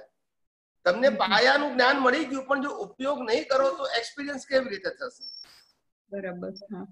એટલે આમાં જે કે છે કે કકડાટની અંત્ય સીમા ઉપર મોક્ષ એટલે કે એન્ડ ઓફ ધ ડે કે માણસ પછી કંટાળે છે અને બીજું શોધવા જાય છે કે એનું આધ્યાત્મિક આટલા બધા. કકડાટની વચ્ચે રહીને. એટલે એ શું કહેવા માંગે છે કે હિન્દુસ્તાનમાં હિન્દુસ્તાનમાં માણસ જે જન્મે છે ને એ પહેલી વસ્તુ ડેવલપમેન્ટ તો લઈને આવ્યો છે. અમુક પ્રકારનું ડેવલપમેન્ટ એની પાસે છે હા. પણ જે જે મન વચન કાયાના સંજોગોની જે વિવિધતા છે એ વિવિધતાને એ કોમન કોમન વિઝનથી ફેસ કરી શકતો નથી. એટલે એટલે કે એ ડિટેલિંગમાં ગયો. જ્યારે કે વિચાર ખરાબ આવતા હોય તો મને એમ લાગે ખરાબ વિચાર ના આવવા જોઈએ. વાણી ખરાબ બોલતી હોય ગુસ્સાવાળી હોય ગુસ્સાવાળી વાણી ના હોવી જોઈએ. વર્તન ખરાબ થયું તો વર્તન ખરાબ ના હોવું જોઈએ. એવી રીતે મારી સાથે કોઈનું વર્તન ખરાબ થયું હોય વાણી ખરાબ બોલાવી હોય તો ના હોવું જોઈએ. આ જે જે રિલેટિવ સત્યમાં ગયો એટલે ફસાઈ ગયો. હા પણ આમાં એટલે ઇન્ડિયન ઇન્ડિયન સાથે ને રિલેટિવ લાઈફ સાથે શું કનેક્શન કહું કહું. એટલે જે લોકો આ ઇન્ડિયન લાઈફની અંદર ડિસ્ચાર્જ ઇન્ડિયન લાઈફની અંદર એટલે કે આધિ વ્યાધિ ને ઉપાધિ વાળા સંજોગોમાં જો એને આ વિજ્ઞાન સમજાઈ જાય છૂટાપણું સમજાઈ જાય એને અને છૂટાપણું રહે તો જાણવું કે એ પોતે ફાઇનલ ડેસ્ટિનેશન સુધી પહોંચી શકશે ગ્રેજ્યુઅલી મેચ્યોરિટીથી કારણ કે એક બાજુ સંપૂર્ણ નેગેટિવિટી હોય સંજોગોની અને છતાં એમાં પાસ થવું that's that's your quality that's your maturity આજે તમને દસે દસ માણસો બહુ સરસ મળે ને એની સાથે જીવવાનું આવે તો તમને કોઈ વાંધો ના આવે પણ દસે દસ વાંકા મળે તો તમે કેટલું એડજસ્ટમેન્ટ લેવું પડે? એટલે તમે મેચ્યોર થાવ. હવે એમાં જો રાગ દ્વેષ ના કરો તો તમે આધ્યાત્મના માર્ગે જતા રહો. હા એટલે મેચ્યોર ક્યારે થાય કે આપણી પાસે જ્ઞાન હોય તો જ મેચ્યોર થાય તો પછી જ્ઞાન ના હોય તો તમારી સમજણ સારી છે એવું કહેવાય. બરાબર. હમ હમ. જ્ઞાન ના હોય ને છતાં તમે મેચ્યોર થતા હોય તો તમારી સમજણ સારી કહેવાય. સમજણ પણ જ્ઞાન નથી બરાબર અને જ્ઞાન હોય તો તમે આધ્યાત્મનો વિકાસ કરી શકો. હા બરાબર એ તો એટલે જ્ઞાન વગર તમે જે એડજસ્ટ થાવ છો એ તમારું રિલેટિવ સત્યનું જ્ઞાન છે. ઓકે. અને આ વિજ્ઞાન સાથે તમે જે સંજોગોમાં એડજસ્ટ થાવ છો એ સનાતન સત્યનું જ્ઞાન છે. સનાતન સત્યનું ફળ આધ્યાત્મ વિકાસ. અને અજ્ઞાન સાથેની સરળતા એ તમને લૌકિક ફળ આપશે. બીજા સંજોગો સારા આપશે બીજા અવતારમાં. એટલે આ દાદાનું જ લાગે કારણ કે એવું બીજા બુકોમાં ને આવું નથી વાંચ્યું ઇન્ડિયન લાઈફ ઉપર ક્યાંય. એટલે મને મને યાદ નથી બધું. અને સ્વામીજી મેં તમને એક હમણાં મોકલ્યું છે ઓલા વોટ્સએપ ઉપર. તો એ તમે કરી શકો ને એનો મિનિંગ છે રાગે પડે નહીં ત્યાં સુધી આશરો રાખજો. તો હું વાંચું કે તમે જોઉં છો તમારા વોટ્સએપ ઉપર? તમે બોલો હું જોઉં છું કે કરો? બોલો તમે વાંધો નહીં. લોકો લોક જ્ઞાન મળ્યા પછી એમ સમજી જાય છે કે હવે આપણે કઈ કામ જ રહ્યું નથી. પણ હજી પરિવર્તન તો થયું જ નથી. કેટલાકને તો રાગે પડી ગયું એટલે બહુ નથી આવતા. કોકોક કોક દાડો આવે. પોતાને જોઈતું રાગે પડી ગયું ને અને કહેવું જ છે કે રાગે પડતા સુધી અહીં ફેરો માર માર કરજે. તો એ જ્ઞાની પાસે બેસે એના જેવું ઉત્તમ વસ્તુ જ નથી. તે છતાં પણ ન બેસાય તો વાંધો નથી પણ રાગ છેલ્લું ખાસ સમજવું છે પણ રાગે પડતા સુધી તો બહુ ભાવના રાખવી જોઈએ. સંયમ પરિણામ ઊભા ન થાય ત્યાં સુધી રાગે પડ્યું કહેવાય નહીં. એટલે એમને અહીંયા આગળ જ્ઞાની પુરુષની પ્રત્યક્ષ હાજરી માં બેસવું એનું મહત્વ સમજાયું પ્રત્યક્ષ સ્થાનું પણ સંયમ પરિણામ એટલે તો સંયમ પરિણામ આવે દાદા કે ને જોઈને શીખાય. અચ્છા. એમ. એટલે સંયમ પરિણામનો મતલબ થાય કે ઘણાને શું લાગે કે સ્વામીજી હવે હવે અમે તો આ તમારું વિજ્ઞાન બેઝિક સમજી ગયા. હવે એટલો ઉપયોગ કરે ચાલશે નહીં એમ.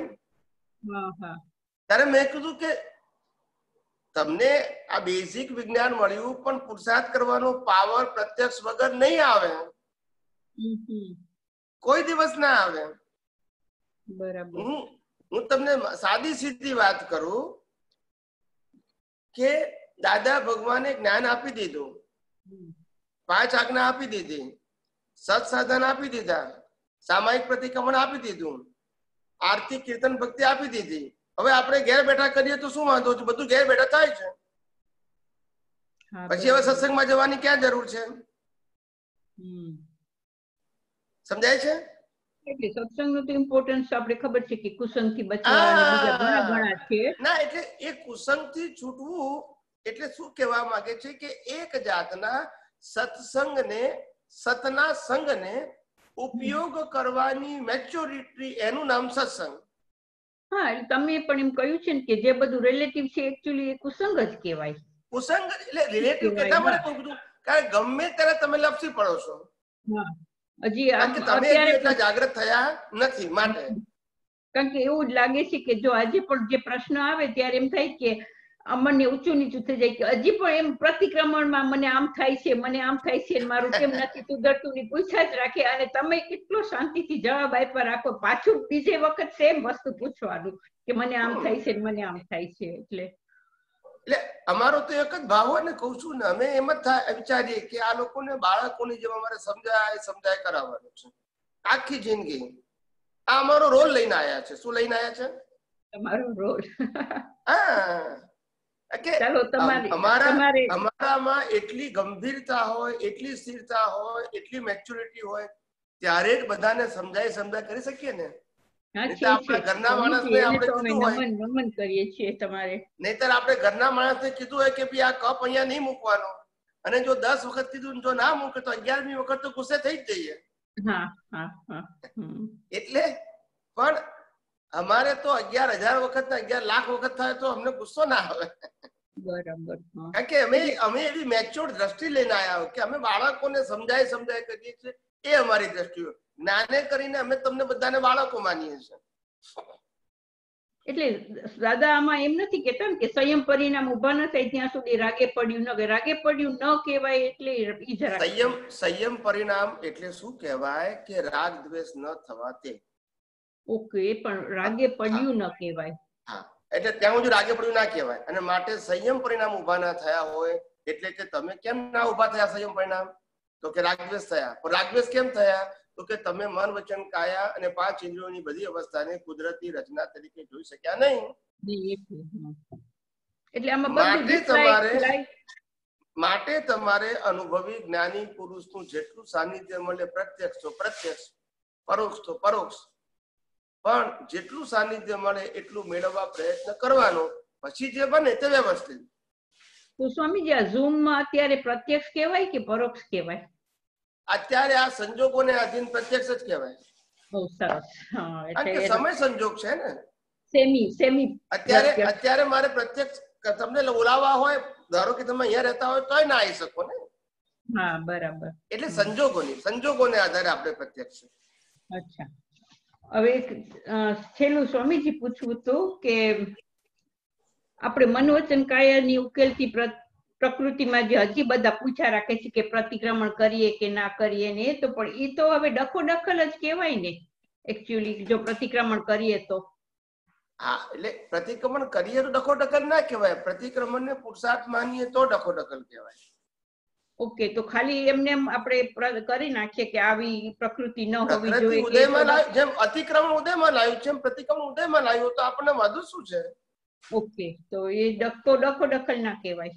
બિલ તમે પુરુષાર્થ માનો તો જ્ઞાનમાં ડખો ડખલ કરી કહેવાય. Okay okay. હા બરાબર. એટલે પ્રકૃતિના ગુણને તમારો ગુણ માની લીધો તો એ ડખો દખલ કહેવાય. બરાબર. હવે એટલે આપણે શું ડખો કીધું? ડખલનો- વ્યાખ્યા શું આપી હતી? કે આ મન વચન કાયાથી જે કંઈ પણ બને છે એને જેમ છે તેમ ન સ્વીકારવું એનું નામ ડખો દખલ હા એમ એટલે શું કહેવા માંગુ છું તો આપણે એમાં એમાં એટલે જેમ અતિક્રમણ સ્વીકારીએ કર્યું એટલે પ્રકૃતિ અતિક્રમણ કોઈને પ્રતિ પ્રકૃતિએ પ્રતિક્રમણ કર્યું કે ના કર્યું આપણને શું ફેર પડે છે? બસ એ જ આપણે કરીએ કે ના કરીએ કઈ ફેર નથી પડતો. આપણે કરતાપણની ભ્રાંતિમાંથી મુક્ત થવું છે પછી કરનારો કોણ છે મારો વિષય નથી ને? મારી પાસે ભ્રાંતિ ના હોવી જોઈએ. અતિક્રમણ મેં કર્યું ને પ્રતિક્રમણ મેં કર્યું. આ બે ભ્રાંતિ ના હોવી જોઈએ બસ. હા બરાબર. ઓકે. થેન્ક યુ સ્વામીજી જય સચિદાન જય સચિદાન જય સચિદાનંદ. જયેશભાઈ વોરા. અમદાવાદ. અનમ્યુટ કરજો. સ્વામીજી જય સચ્ચિદાનંદ. જય સચિદાનંદ હવે આપણે જે તમે કીધું એ મુજબ કામ કરી રહ્યા છે તો મોટા ભાગે હું યુટ્યુબમાં વીડિયો જોતો તો સારી એક હમણાં વીડિયો મૂકી બહુ મોટા મહારાજ સાહેબની બરાબર?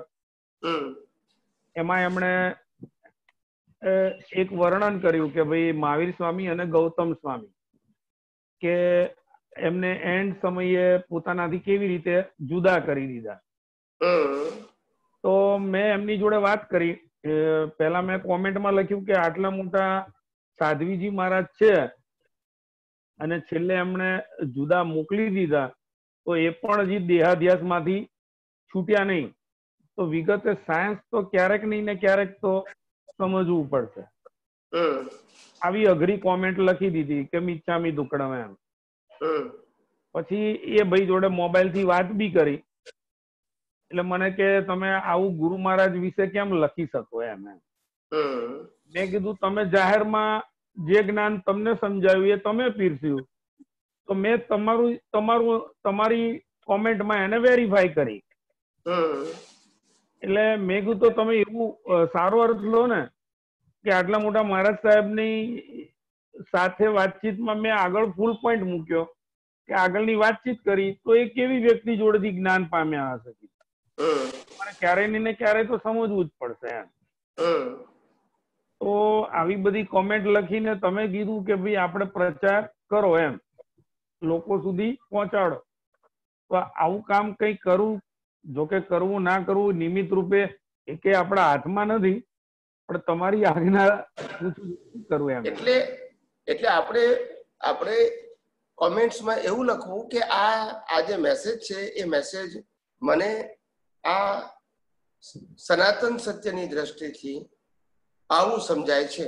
આવી રીતે લખવું. એ ક્રિટિસાઇઝ ના કહેવાય. You put up your view point હા હા હા. એમ લખાય એમ લખાય. બરાબર બરાબર. એટલે શું થાય કે તમે પેલાને ખોટોય નથી કીધું ને સાચોય નથી કીધું પણ આ સંજોગો તમે જે મૂક્યા છે એમાં મારું વ્યૂ પોઈન્ટ ખાલી આ છે. મે બી તમે એક્સેપ્ટ કરો કે ના કરો એ તમે સ્વતંત્ર જ છો. બરાબર છે. પણ મેં મેં મારી કોમેન્ટ એટલા માટે મૂકી છે કે હું મારો આના ઉપર મારો મંતવ્ય બતાવું છું. હું સાચો પણ હોઈ શકું તમારા વ્યૂ પોઈન્ટથી ખોટો પણ હોઈ શકું. અને તમે તમારા વ્યૂ પોઈન્ટ તમે તમારી જે વ્યૂ પોઈન્ટ મૂક્યું છે એમાં તમે ખોટા પણ શકો સાચા પણ શકો પણ આપણે એમાં પડવું નથી. તમે નિષ્પક્ષ પાત્રી તમારો વ્યૂ પોઈન્ટ મૂક્યો. મેં મારો વ્યૂ પોઈન્ટ મૂક્યો છે. દુનિયાને એમાંથી જે લેવું એ લઈ શકશે ને? વ્યૂ પોઈન્ટ કેટલો એ થઈ જાય કે તમે જેને દેહાધ્યાસ કહો છો તમે પોતે વ્યાખ્યાનમાં બોલો છો. છતાં એન્ડમાં દર્શન તો એ જ દેહાધ્યાસ ના થાય છે છૂટતું જ નથી એમ. તો ક્યાંય ને ક્યાંય વસ્તુ એક્સેપ્ટ કરવી પડશે. આજે નહીં તો કાલે એમ. હા પણ એટલે કીધું ને એટલે કીધું ને કે ભાઈ આ વક્તવ્ય આપવું એટલે કે પ્રવચન આપવું કે ઉપદેશ કરવો એ ખાલી શાસ્ત્રની સારી વાતોને જગત સમક્ષ રજૂઆત કરવા પૂરતી જ છે. બરાબર. આપણી ભાવના તો સારી છે કે જે મને આનંદ છે લોકોને પહોંચે એમ. હા એમાં વ્યક્ત કરનારની પોતાની મેચ્યોરિટી છે એવું માનવું નહીં. વ્યક્ત કરનારની. વ્યક્ત કરનારની મેચ્યોરિટી છે એવું ના માનવું એમ કઉ છું. હા બરાબર છે. દાખલા તરીકે દાખલા તરીકે ટીવીમાં આવતો રામાયણનો એપિસોડ એ એપિસોડને પ્રેઝન્ટ કરનારા પાસે રામાયણનો અનુભવ છે એ માનવાને કોઈ કારણ નથી. બરાબર છે. પણ પ્રેઝન્ટ તો કરી શકે ને.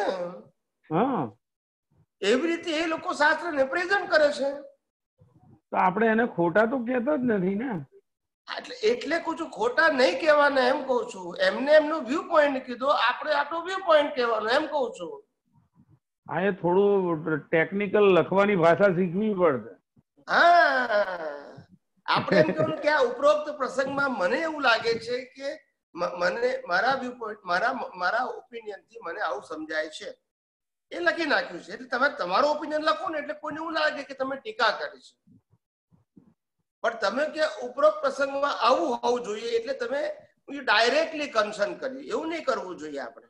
એને ટચ નહીં કરવાનું અને આપણો સ્વતંત્ર અભિપ્રાય આપવાનો. કે મને આ સાંભળવાથી કે આ વાંચવાથી જે મને ઉત્પન્ન થયું મને સમજાયું એ મારો વ્યૂ પોઈન્ટ રીતે હું મેસેજ મૂકું છું. એમાંથી જેને જે સમજવું હોય તે સમજી શકે. એક્સેપ્ટ બી કરે વિરોધ બી કરે ક્યાં વાંધો છે આપણને? ના આપણને તો વિરોધ કરે તોય વાંધો નહીં ને એક્સેપ્ટ કરે તોય વાંધો નથી. હા એ ક્યાંય ને ક્યાંય એવા અજાણતા વિરાધના મોટી વ્યક્તિના વિરાધનાના વચ્ચે ના આવી જઈએ એમ. ના ના ના. વિરાધના એક વસ્તુ છે કે વિરાધના કોને કહેવાય? તમે કોઈ પણ વ્યક્તિની વ્યક્તિગત ટીકા કરો એને વિરાધના કહેવાય. પણ જ્યારે તમે કોઈ પણ પ્રસંગની અંદર સિદ્ધાંતને પ્રેઝન્ટ કરો છો એમાં વ્યક્તિ એ સ્વતંત્રતાનો પ્રશ્ન આવતો નથી. તમે યુનિવર્સલ ટ્રુથ લો ના સબ્જેક્ટમાં વાત કરો છો. બરાબર છે. પણ પણ જો તમે વ્યક્તિને ખોટી કહેતા હોય તો તમારો એ વ્યૂ પોઈન્ટ રિલેટિવ કહેવાય. બરાબર છે. પણ એમાં એકદમથી તો હું લો મૂકી નહીં શકું. પેલા મારે ત્યાં તિરાડ પાડવી આપણે એટલે આપણે આર્ટ આર્ટ લાવવી પડે એવી કળા. હા. ત્યાં મારે તિરાડ મૂકવી પડશે કે આટલી આખો જન્મ જેણે આ કામ માટે આપી દીધો છે છતાં બી એમનો આ મોહ છૂટતો નથી. તો એ એવી શું વસ્તુ છે? તો ક્યાંય ને ક્યાંય આ સિદ્ધાંત તો સમજવો પડશે. આજે નહીં તો કાલે. કોઈએ કોઈએ લખ્યું હોય કે અહિંસા પરમો ધર્મ માટે કોઈની પણ હિંસા કરવી જોઈએ નહીં. બરાબર. આવું કોઈએ લખ્યું છે? હા. તો આપણે એવું કહેવાય કે અહિંસા પરમો ધર્મને હું એવું માનું છું કે જેની અજ્ઞાનતાને કારણે ભાવ ભાવ હિંસા ઉડી ગઈ. તો પછી એ હિંસા માટે જવાબદાર નથી. દાખલા તરીકે રામે લાખો લોકોની હિંસા કરીને મોક્ષે ગયા. That is my opinion with example બરાબર. એમાં એને ખોટું કીધું એ પણ પ્રસન્ન આવ્યો. આવે જ નહીં. આપણે પ્રેઝન્ટેશન કર્યું કે ભાઈ આપણે એ લોકોએ સ્થૂળ હિંસાને પ્રેઝન્ટ કરી અને હિંસ- અહિંસા પરમોદ્રમે કોન્ટેક્ટ કર્યો રેફરન્સ આપ્યો. આપણે કહીએ છીએ કે ભાવ હિંસાને હું હિંસા કહું છું. બરાબર. અને ભાવ હિંસાને બંધનરૂપ હોવાથી જો મારા ભાવમાં હિંસા નથી અને ક્રિયામાં હિંસા છે તો એને હિંસાને કુદરત હિંસા ગણતી નથી. કારણ કે ક્રિયા એ તો કર્મનું ફળ છે અને માટે રામ પણ લાખો લોકોની હિંસા કરીને મોક્ષે ગયા. ત્રણ તીર્થંકરો પણ કરોડો લોકોની હિંસા કરીને મોક્ષે ગયા. અને અર્જુન પણ હિંસા કરીને મોક્ષે થયો આવા અનેક દાખલા છે. માટે હું હિંસાને પ્રોત્સાહન નથી આપતો પણ હિંસાની પાછળ જે હિંસક ભાવ છે એની ઇમ્પોર્ટન્ટ આપવા માંગુ છું. આવું તો કહી શકાય કે નહીં આપણે? કઈ સો ટકા કહીએ મને કે તમે અને જૈન સુધી ધર્મ વાક્ય જૈન ધર્મનું સૂત્ર લખાય ભાવે ભાવના ભાવીએ ભાવે દીજે દાન ભાવે ધર્મ આરાધ્ય ભાવે કેવળ જ્ઞાન. તો ભાવની જ- ભાવની જ કિંમત છે ને? પણ સાહેબજી બહુ ભયંકર વાગે જો એ લોકોને. વાગે એક વસ્તુ છે સાહેબ અંતર જ પડે છે સીધું. એ એક વસ્તુ છે સાહેબ કે જ્યારે રિલેટિવ સત્યની માન્યતા તૂટે ને ત્યારે ઘાતો લાગે. કારણ કે કેટલા અવતારની ઘાટ થયેલી હોય સાહેબ. એક અવતારની થોડી છે? મને કે તમે કેટલા મહારાજ સાહેબ ને મળ્યા હશો? મેં કહું મહારાજ સાહેબ ને પરિપક્વતા ને શું લાગે વળગે? હમ. પરિપક્વતાને ને કે હું ધારો કે સો મહારાજ સાહેબ ને મળું મહાવીર સ્વામી ને શ્રીમદ રાજચંદ્રજી એમના નીચે દીક્ષા અર્ધી હતા છતાં બી આટલા બહુ રગડી પડ્યા તમે શું એક્સેપ્ટ કરીને આવો છો એની ઉપર આધાર છે? કેટલાને મળો છો એની આરે ક્યાં આધાર છે? મેં કીધું સાહેબ. એટલે આવી બધી વાર્તાઓ ચાલે છે જોઈએ હવે. કઈ વાંધો નહીં કઈ આવું તો એમ કરતા કરતા ઘડતર થાય ને સાહેબ. ઘડતર મારું તો ઘડતર જ છે પણ મારે શું છે? મેઇન પ્રોબ્લેમ આમનિયાનો આવે છે. બધું થાય પણ એમ એમ જ ઘડાશે ને સાહેબ એમ જ ઘડાશે હશે ચલો ક્યાં? માર ખાઈ માર ખાઈ ખાઈને ટ્રેન થવાય સાહેબ ચિંતા નહીં કરવાની. આપણો આશય શુદ્ધ છે તો આપણે ડાયટ ટ્રેક ઉપર છે ધેટ્સ ઇટ હા. અવાજમાં તો જ વજન છે ને સાહેબજી હા. ભલે આપણો આપણે- આશય કોઈની ટીકા કરવાનો છે કોઈને ખોટા કહેવાનો છે કોઈને ડિગ્રેડ કરવાનો છે તો પછી એ ખોટું કહેવાય. આપણો આશ્રય નહીં પણ સાંભળનારને તો એ લાગવાનું સનાતન સત્ય આ જગતના લોકોને સનાતન સત્ય મારે બતાવવું છે આ મારો આશય છે. તો પછી કુદરત તમારો આશય જુએ છે દુનિયા લોકો ભલે તમારા શબ્દ જુએ. મને કે આગમ વાંચવાની સત્તા કોઈને નથી તો તમારા સાહેબજીએ આગમ ભણ્યા છે એવું તમે કહો કેવી રીતે? મેં કહું તમને આવું અભૂત જ્ઞાન કોણે આપ્યું? વલભીપુરમાં આગમનું મંદિર છે જઈને કોઈ પણ વ્યક્તિ વાંચી શકે છે મેં કીધું. તમે એવું તમે તમે તમારી સમજણ બરાબર ગોઠવો કે આગમ સમજાવનારી વ્યક્તિ દીક્ષાર્થી હોય. વાંચવાનો અધિકાર કોઈ બી ને છે. અને આગમ બજારમાં બહાર મળે છે સાહેબ પૈસાથી? હા. એટલે એ મળે છે. આવી બધી આ તો મેં તો જે જાણ્યું હતું એ કીધું કે મેં આગમ મંદિરના દર્શન કર્યા હતા. એટલે મેં કહી દીધું વલભીપુરમાં છે આગમનું મંદિર. જાહેર જનતા કોઈ પણ વાંચી શકે. કોઈ પણ જ્ઞાતિનું. એટલે તમે એવું તો તમે એવું મેં કે વગર જાણે એકાંકી કેવી રીતે બોલી શકો કે મહારાજ સાહેબ સિવાય તમને આગમ કોઈ ભણાઈ ના શકે? તમને સમજણ ના આપી શકે એમ? કો ભણાઈ ના શકે મતલબ? કઈ વાંધો નહીં ચલો. મહેનત કરીએ જય સચિદાન ઓકે જય સચિદાન આ પેલા ભાઈનો ફોન નથી આવ્યો હો? હા હા હા આ જસ્ટ તમને વાત કરું છું ના ના હું બે ત્રણ દિવસ રહીને પાછો કરંટમાં રહીશ. કઈ કઈ કઈ વાત ઓકે સાહેબ. હા. જય સચિદાન જય સચિદાન. ડીબીવી તમારે પૂછવું છે કઈ? અનમ્યુટ કરજો. ડીબીવી લખ્યું છે ખાલી.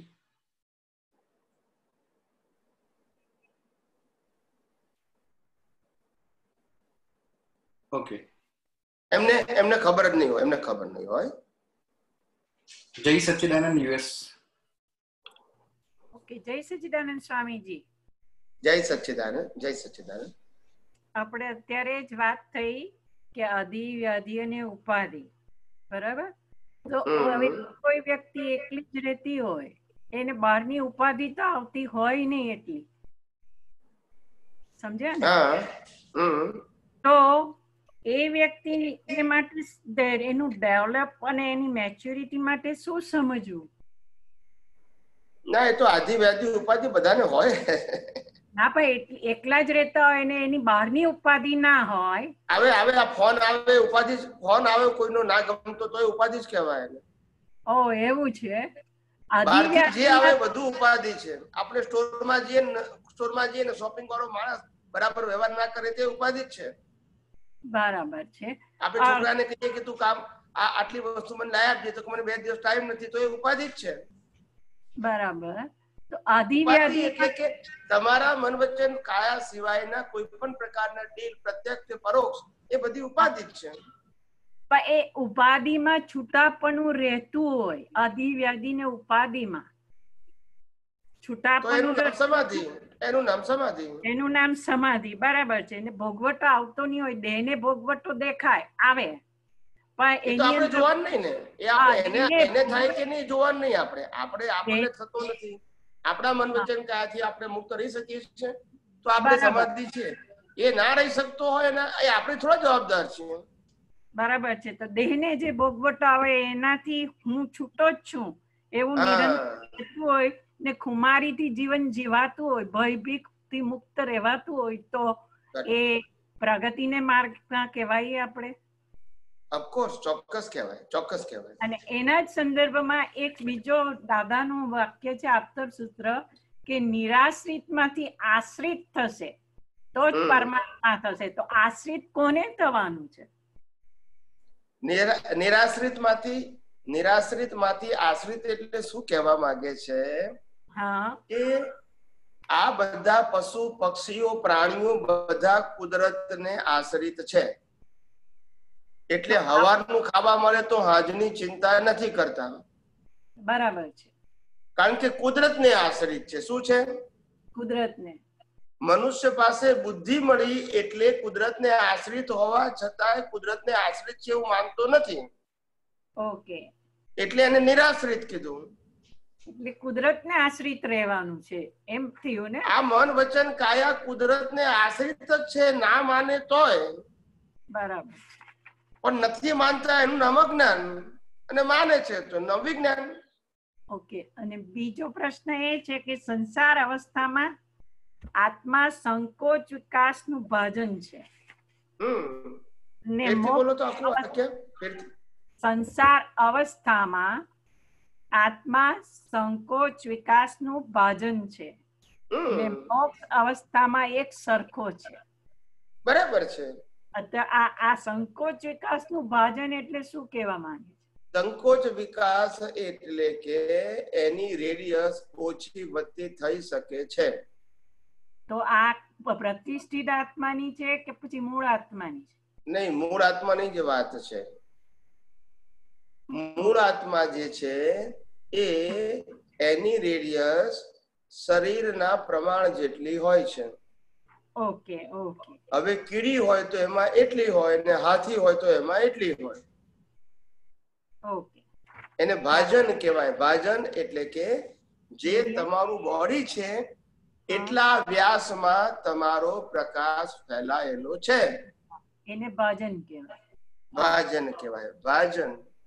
ઓકે પછી બીજો એક નાનો સવાલ છે કે પરમ વિનય એ પ્રજ્ઞા ભાગ છે. ભગવાનની ધાતુ મિલાપ થાય ત્યાં સુધી પરમ વિનય રહેવો જોઈએ તો ધાતુ મિલાપનું મિનિંગ શું છે આ ધાતુ મિલાપનો મતલબ થાય કે પરમાત્મા પદ પ્રાપ્ત થઈ ગયું એને ધાતુ મિલાપ કહેવાય. ધાતુ એટલે તત્વ. ઓકે. Elements okay. પણ ત્યાં સુધી પરમ વિનય રહેવો જોઈએ. પરમ વિનય એટલે શું? પ્રકૃતિ ને પરમાત્માને સંપૂર્ણ છૂટા જોવા ટ્વેન્ટી ફોર અવર્સ એ પરમ વિનય. એ તો ખ્યાલ હતો પણ ધાતુ મિલાપ શું હતું એની ખ્યાલ આવ્યો એટલે. Okay okay okay. જય સચિદાનંદ સ્વામી જય સચિદાનંદ જય સચિદાનંદ. દિલીપભાઈ અગ્રવાલ રાયગઢ.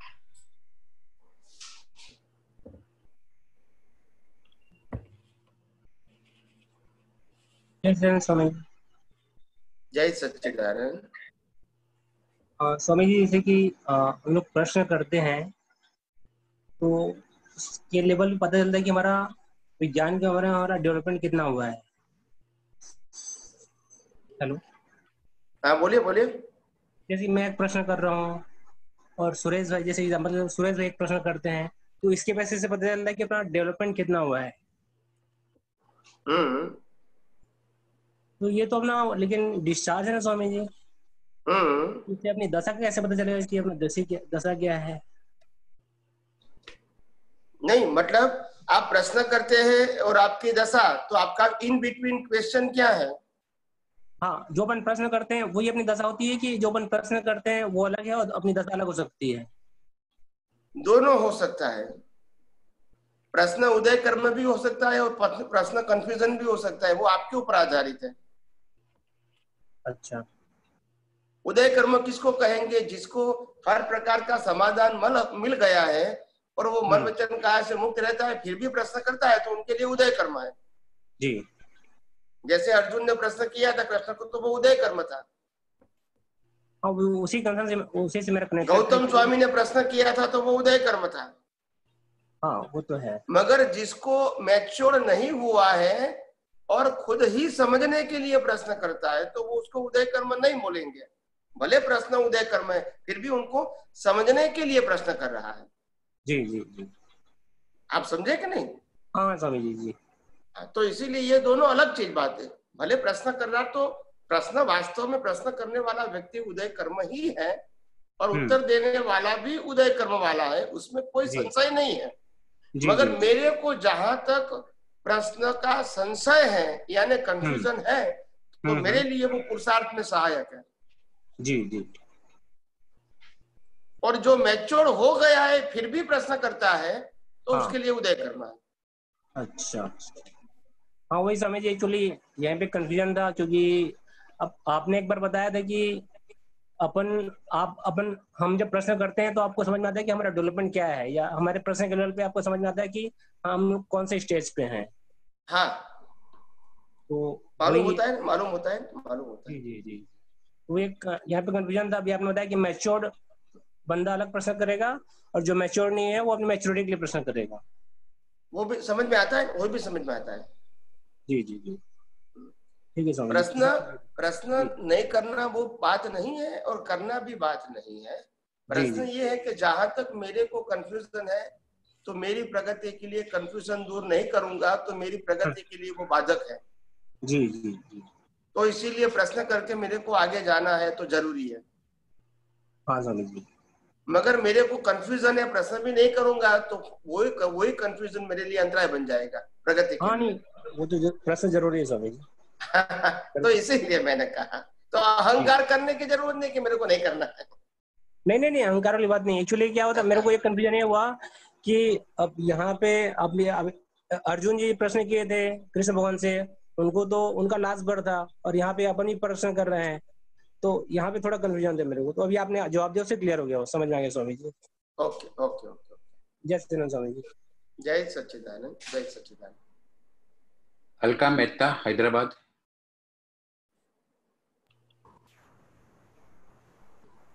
જય સચ્ચિદાનંદ स्वामी जय सच्चिदानंद जय सच्चिदानंद स्वामी जी एक प्रश्न है व्यवहारिक स्वामी શિશુ ગર્ભ में જે જે શિશુ ગર્ભમાં હોય છે તે સુખ દુઃખનો અનુભવ કરી શકે? કરી શકે. અને ગર્ભમાં હોય છે તો જીવ કર્મ બાંધી શકે સ્વામીજી? બાંધે ને. બાંધે ને. કેવા પ્રકારના કર્મ બાંધે સ્વામીજી? એ ગર્ભમાં ભોગવવા પડે એવા છે અચ્છા એટલે પાછું ગર્ભમાં ભોગવે એવા જ કર્મ બાંધે. કર્મ બાંધ્યા છે તો પછી એ પ્રમાણે હોય. એની મેચ્યોરિટી એ પ્રકારની હોય ને. Okay okay. એનું ઇન્દ્રિય જ્ઞાન આ તે બધું વિકાસ ના થયું હોય એટલે કેવું થાય? એને અંદર રહે રહે દુઃખ થાય સુખ થાય માતા બહુ તીખું ખાય ગરમ ખાય તો એને જ્ઞાન અનફીલ થાય. એટલું જ એનું ઓપોઝ હોય ને એનું. બાકી બીજું કોઈ વ્યક્તિગત તો કશું એને હોય નહીં એની મેચ્યોરિટી એટલી આવી નથી ને. નહીં, આપણે બધા એમ કે ને કે ગર્ભ જ્ઞાન મળે, માતાજી બધું કરે, ધર્મ ધ્યાન કે કાંઈ, તો ઈ જ્ઞાન પણ એમને પ્રાપ્ત થાય એમ કરી ઓફકોર્સ બંને વસ્તુ છે ને પોઝિટિવ નેગેટિવ બંને વસ્તુ હોય ને. એવી રીતે નાની ઉંમરમાં માતાજી એ વખતે જયારે ગર્ભમાં હોય ત્યારે પેલા તો લોકો રામાયણ, મહાભારત, ધાર્મિક ગ્રંથો, ગીતા, આગમ કે વેદાંત કે આવા ધાર્મિક ગ્રંથોનું અધ્યયન કરાવતા હતા. પ્રવચનમાં જવાનું કહેતા હતા એમને ઘરનું કોઈ કામ સોંપતા નતા કારણ કે બાળક સંસ્કારી છે એને ગર્ભજ સંસ્કાર કહેવાય. અને એ સંસ્કારમાં કુદરત એવું કે છે કે ગર્ભજ સંસ્કાર એ સંસ્કાર આપવા માટેના શ્રેષ્ઠ સંજોગો છે. કે એમાં બાળકની ચોઈસ નથી અને તમે સીધા સંસ્કાર આપો છો. ઈ બી બાળકની પુણ્ય પુણ્યાઈ ઉપર હોય ને સ્વામીજી? એ તો ખરું. પુણ્ય તો ખરી જી જી જી સ્વામીજી. સ્વામીજી હજી એક પ્રશ્ન હતો કે પ્રતિષ્ઠિત આત્મા એટલે સૂક્ષ્મ અહંકાર? પ્રતિષ્ઠિત આત્મા એટલે સૂક્ષ્મ તો અહંકાર તો સૂક્ષ્મ હોય પણ લાઈવ અહંકાર. લાઈવ અહંકાર. એટલે અહંકાર તો સૂક્ષ્મ જો બહાર દેખાય નહીં પણ લાઈવ અહંકાર ડિસ્ચાર્જ અહંકાર એ સૂક્ષ્મ હોય ને ચાર્જ અહંકાર એ સૂક્ષ્મ હોય. પણ પેલો મિકેનિકલ હોય અને આ લાઈવ હોય. ઓકે સ્વામીજી. બે અહંકાર સૂક્ષ્મ જો બહાર દેખાય નહીં કોઈને. સ્વામીજી એક હજી પ્રશ્ન છે. કે પ્રયોગશા મિશ્રસા અને વિશ્રસા આ વિજ્ઞાનમાં કેવી રીતે કામ કરે સ્વામીજી? પ્રયોગશા મિશ્રસા અને વિશ્રસા જી. પ્રયોગશા એટલે કર્મો બાંધવાની પ્રક્રિયા. ઓકે. મિ- મિશ્રસા પહેલું પહેલું તો મિશ્રસા આવે મિશ્રસા નો મતલબ થાય કે કર્મ બાંધવું. બાંધવું. પછી પ્રયોગશા એટલે સત્તામાં રહેવું. અને પછી જયારે ઉદયમાં આવે ત્યારે એને વિશ્રસા થાય. એટલે મિશ્રસા પ્રયોગશા અને વિશ્રસા મિશ્રસાનો મતલબ પ્રોસેસ પ્રયોગશાનો મતલબ કર્મ બંધાઈ જવું જેના આધારે કુદરતે કુદરત આપણને ફળ આપવાનું છે. આ કર્મનું ફળ શું? એ પ્રયોગશા અને જયારે પરિણામ આવે ત્યારે વિશ્રસા વિશ્રસા એટલે ઉકલવું. તો તો સ્વામીજી આપણે જે આ પુરુષાર્થ કરી છે વિજ્ઞાન લેવલનું તો એ પ્રયોગશા છે? હા. પ્રયોગશા છે? ઓકે પ્રયોગશા છે. પ્રયોગશા એટલે આપણે જે પ્રોસેસ કરીએ છીએ છૂટા રહેવાનું અસર મુક્ત રહેવાનું. જી જી. અજ્ઞાનથી મુક્ત રહેવાનું. આ જે પ્રયોગશા કરીએ છીએ એ આપણો પુરુષાર્થ જ છે અત્યારે. વળી જવું એ પણ પુરુષાર્થ છે પણ એને અજ્ઞાન પુરુષાર્થ કહેવાય છે.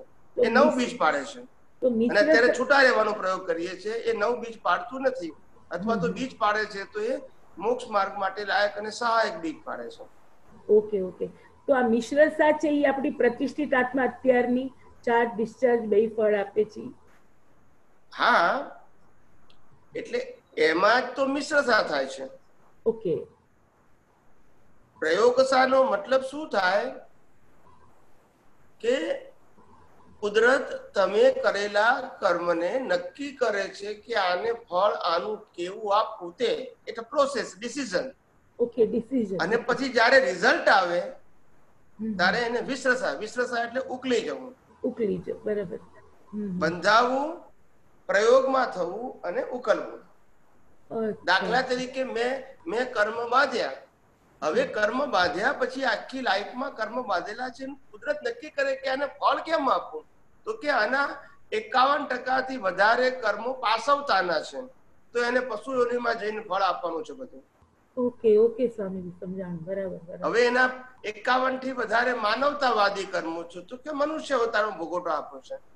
જી જી જી.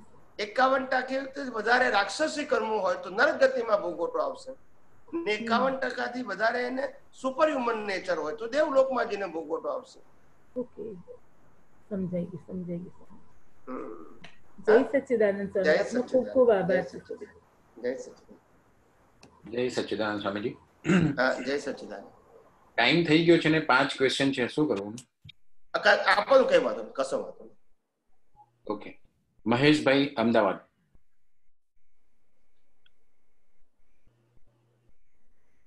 મહેશભાઈ અમદાવાદ ક્યાં છે?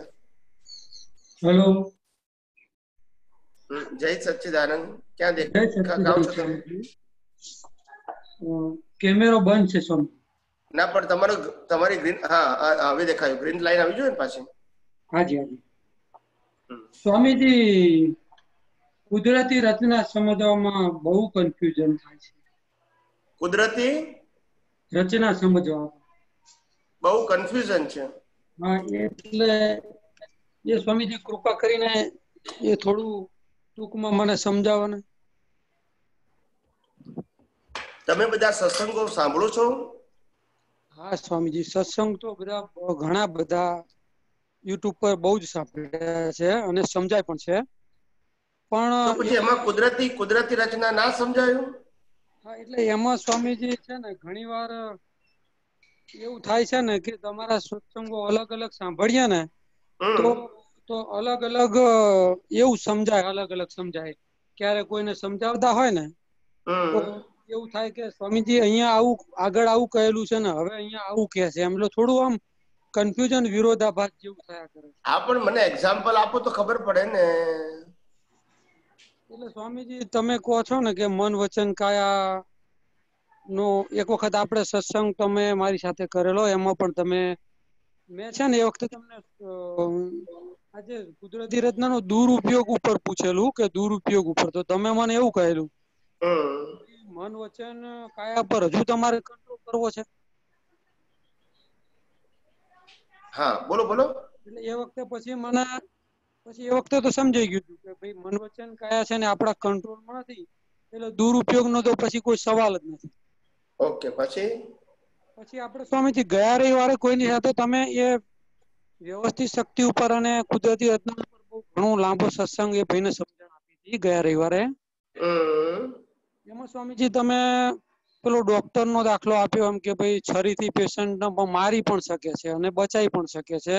એટલે કે દુરુપયોગ તો એમાં થવાના બહુ ચાન્સીસ એવું પણ કહેલું આપણે એટલે આવું બધું કન્ફ્યુઝન થયા કરે છે સ્વામીજી. ના પણ એમાં કન્ફ્યુઝન શું છે? ખ્યાલ ના આવ્યો મને. આ દાખલો આપ્યો બરાબર છે. એમાં કન્ફ્યુઝન શું છે એમ? આપે પેલા એવું કહેલું કે ભાઈ તમારો કંટ્રોલ છે કોઈ તમે દુરુપયોગ થઈ શકે જ નહીં. એવું કહેલું મને. મેં જે દુરુપયોગની વાત કરી એ દ્રષ્ટિ રૂપે કીધી અને આ દાખલો તમને એક્શન રૂપે એટલા માટે આપ્યો કે તમને સમજાય. પણ તમારે આ જવાબને દ્રષ્ટિમાં જ લઈ જવાનો. બરાબર. હવે તમે છે ને મારે કોઈ પણ દાખલો આપવો પડે એટલે વ્યવહારનો જ આપવો પડે ને. હા હા બરાબર બરાબર. પણ તમારે લઈ જવાનું દ્રષ્ટિમાં. આપણા સત્સંગમાં મેં અનેક વખત કીધું છે કે આપણે ક્યારે મન વચન કાયા એ આપણા સત્સંગનો સબ્જેક્ટ નથી. દ્રષ્ટિ એ આપણા સત્સંગનો સબ્જેક્ટ છે. પ્રતિષ્ઠિત આત્મા એ આપણા સત્સંગનો સબ્જેક્ટ છે. અને આંતરિક પુરુષાર્થ એ આપણા સત્સંગનો સબ્જેક્ટ છે. મન વચન કાયાની ક્રિયા એ આપણા સત્સંગનો સબ્જેક્ટ નથી. બરાબર. પણ હું દાખલો મેં તમને આપ્યો કે એમ છરી છે તો છરીનો સદુપયોગ ને દુરુપયોગ બે ડોક્ટર જેમ કરી શકે છે વ્યવહારથી એમ નિશ્ચયથી તમે જ્ઞાનનો દુરુપયોગ ને સદુપયોગ પણ કરી શકો છો. આવો દાખલો તમારે સમજવાનો હતો. એમાં ક્રિયામાં જવાનું નતું પણ ક્રિયાનો દાખલાથી તમારે પેલી વાત સમજાય એટલા માટે મેં તમને કહ્યું કે જે તે વ્યક્તિને કહ્યું. એટલે પછી પેલું તમે કહ્યું ને કે ભાઈ, પેલું કે ભાઈ મારાથી લાફો કોઈને મરાઈ ગયો હોય, તો એમ કે તમે અંદર શું કામ એમ કે તમે, એ બહાર બહાર સમજવાની વસ્તુ, અંદર જુદું સમજવા છો ને બહાર જુદું, એ એ કહેવા માંગો છો?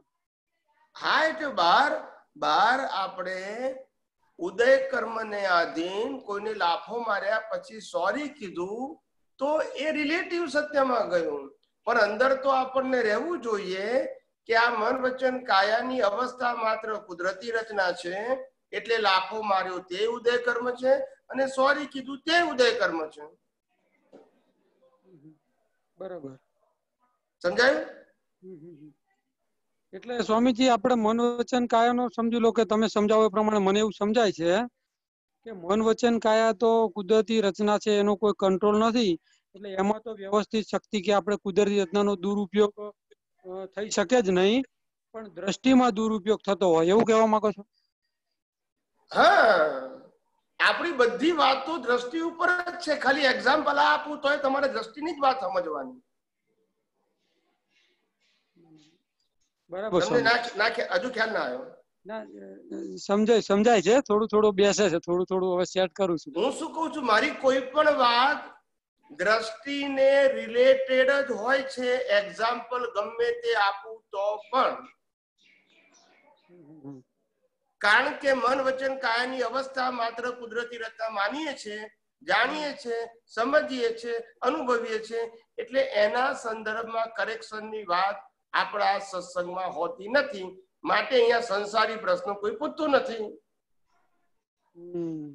હવે ખ્યાલ આવે છે કે નથી આવતો? એટલે સ્વામીજી હવે કુદરતી રચનાનો દુરુપયોગ છે ને એ થાય ખરો પણ દ્રષ્ટિના લેવલે થાય. એવું કહો છો ને? હા. બાકી મનોચન કાયમાં તો દુરુપયોગ થઈ શકે જ નહીં. બાકી બાકી તમે જ્ઞાન લીધું હોય ગમે ત્યારે લીધું હોય ગમે તેની પાસેથી લીધું હોય પણ તમને ખબર છે કે મેં જ્ઞાન લીધું છે એ પ્રમાણે મારી સમજણ નથી. હું આ વિજ્ઞાનની વાતને બાજુ મૂકવાનું કહું છું કે તમે જ્યારે જ્ઞાન લીધું ત્યારે તમને ખબર પડે છે કે હું શુદ્ધાત્મા છું અને જ્ઞાન વિધિમાં પણ કીધેલું કે મન વચન કાયાની અવસ્થા માત્ર કુદરતી રચના છે. અને આ બધું વ્યવસ્થિત છે. આવું કીધું છતાં પણ પાછું તમને ક્રિયામાં તો પુરુષાર્થ તરીકે સમજાવવામાં આવ્યું અને તમે સમજ્યા. અને ત્યાં તમે પ્રશ્ન નથી પૂછ્યા કે આ વિરોધાભાસ છે. બોલતા નથી હવે. સ્વામીજી પણ એવું કઈ શું કહેવાય કે એવું કઈ ક્યાં સૂચતું જ નહોતું ને આ તો હવે ખબર પડે છે. એટલે તમને ખબર પડે છે ને કે આ વિજ્ઞાનને આધારે તમારી જાગૃતિ વધી એટલું તો સમજાયું કે નહીં? સો ટકા સ્વામીજી સો ટકા દોઢસો ટકા. માટે દુનિયાના લોકોને હું કહું છું કે આ વિજ્ઞાન સમજાવશે પછી તમે પ્રશ્ન પૂછશો કારણ કે તમને પેલા સમજણ જ નથી. મિકેનિકલ જ કરતા હતા. બ્લાઇન્ડ આંખો બંધ કરીને. બહુ સાચી વાત છે બહુ સાચી વાત છે. હા હવે આખો ઉઘડી પછી ખબર પડી કે ઓ આ તો ખોટું કરતા હતા આપણે. ખોટું નો મતલબ અનસમજણથી કરતા હતા એમ. જે સમજણ જોઈએ તે સમજણ નથી મારી પાસે. ક્રિયા કરતા હતા પણ સમજણ નથી. હવે આપણે એ જ વસ્તુ સમજણથી થાય છે. એટલે તમે સ્વામીજી દાખલા જે આપો છો ને એ જે- આપણે એના આપણે ડોક્ટરના ને જે છરીના ને એ બધું એ એના આપણે વ્યવહારિક દાખલા ગણવાના અને રિલેટિવ સત્યમાં ગણવાનું પણ રિયલ સત્ય તો આ જે દ્રષ્ટિનો ઉપયોગની વાત છે એટલે જેમ રિલેટિવ સત્યમાં જેમાં દાખલો આપ્યો કે જેમ ડોક્ટર પણ છરી પણ દુરુપયોગ અને સદુપયોગ થઈ શકે છે એવી રીતે આ જ્ઞાનનો પણ સદુપયોગ દુરુપયોગ થઈ શકે છે. એવું એક્ઝામ્પલ સમજવાનું? એટલે સ્વામીજી છેલ્લે મને એટલું સમજાય છે કે આ મન વચન કાયથી કંઈ બી થઈ રહ્યું છે પણ તમે દ્રષ્ટિમાં એને એવું એવું ના કરશો કે ભાઈ આ મારાથી થયું છે, તો એ પછી દુરુપયોગ એને ન કહેવાય. એટલે આમાં શું થાય સાહેબ? કે જ્યારે તમે કોઈનું અપમાન કરો, તમે એટલે તમારી પ્રકૃતિ કોઈનું અપમાન કરો, ત્યારે તમે કહો છો કે હું કુદરતી રચના જોઈ શકું છું. પણ બીજો કોઈ મારું, મને, મારી પ્રકૃતિનું અપમાન કરે, તો હું કુદરતની રચના જોઈ શકતો નથી. તો પછી આ તમારું જ્ઞાન કેવું કહેવાય? એટલે એને જ આપણે કુદરતી રત્નનો દુરુપયોગ થયો કહેવાય. સમજી ગયા હવે? સમજી ગયો. સો ટકા. હવે આવું દ્રષ્ટિમાં થવું જોઈએ નહીં એના માટે છરીનો દાખલો આપ્યો. બરાબર છે બરાબર છે. મેં છરીનો શું વાંક એમ કહો મને? છરીનો કઈ વાંક એમ તમને વ્યવસ્થિત શક્તિ કે કુદરત રચનાનું જ્ઞાન આપ્યું પણ તમે એક સાઈડ વાપરો છો બીજી સાઈડ નથી વાપરતા તો એ જ્ઞાનનો વાંક છે કે તમારા ઉપયોગનો વાંક છે? ઉપયોગનો વાંક છે. માટે કીધું એને કે એટલા માટે કીધું કે જ્ઞાનનો દુરુપયોગ આ રીતે થઈ શકે છે. બરાબર હવે. સમજાયું? કે નહીં? સમજાઈ ગયું. ખૂબ ખૂબ આભાર સ્વામી ઓકે જય સચિદાનંદ જય સચ્ચિદાનંદ મનીષા યુએસએ? જય સચ્ચિદાનંદ સ્વામીજી. જય સચ્ચિદાનંદ હા સ્વામીજી મારે જાણવું હતું કે ઇન્ટરેસ્ટ અને ઇન્ટેન્શન એ બંને કેરી ફોરવર્ડ થાય કે નહીં નેક્સ્ટ બર્થમાં ઇન્ટરેસ્ટ અને ઇન્ટેન્શન હા ઇન્ટરેસ્ટ અને ઇન્ટેન્શન છે એ ડેવલપમેન્ટ સાથે કેરી ફોરવર્ડ થાય ઓર કોઝ સાથે કેરી ફોરવર્ડ થાય. બરાબર. એટલે આપણને both the word because because the both the words is connected with your બરાબર. And the purusharth is carried forward in next world, either in terms of development or in terms of cause? Okay Huh? Yeah yeah એટલે આપણને અત્યારે જે મને અત્યારે spiritual સાયન્સમાં જ interest છે. જ્યારે બી ટાઈમ મળે તો આપણને એમ જ થાય કે ચાલ આજ કરવું છે. તો આની અંદર જ કોન્ફિડન્ટ આમ હોલ ટાઈમ એવું જ લાગે કે આજ કરવું છે. તો એ આપણો પુરુષાર્થ જ કહેવાય ને એક જાતનો. હા. આ આ- આ આધ્યાત્મ વિજ્ઞાનમાં પુરુષાર્થ આખો દ્રષ્ટિનો જ છે જેમાં મન વચન કાયાનું કોઈ કન્સર્ન જ નથી. બરાબર ઓકે. એટલે મન વચન કાયાને પુરુષાર્થ માનવું એને તો આપણે રિલેટિવ સત્ય કહીએ છીએ. એનું બીજું નામ આપણે અજ્ઞાન કહી દીધું.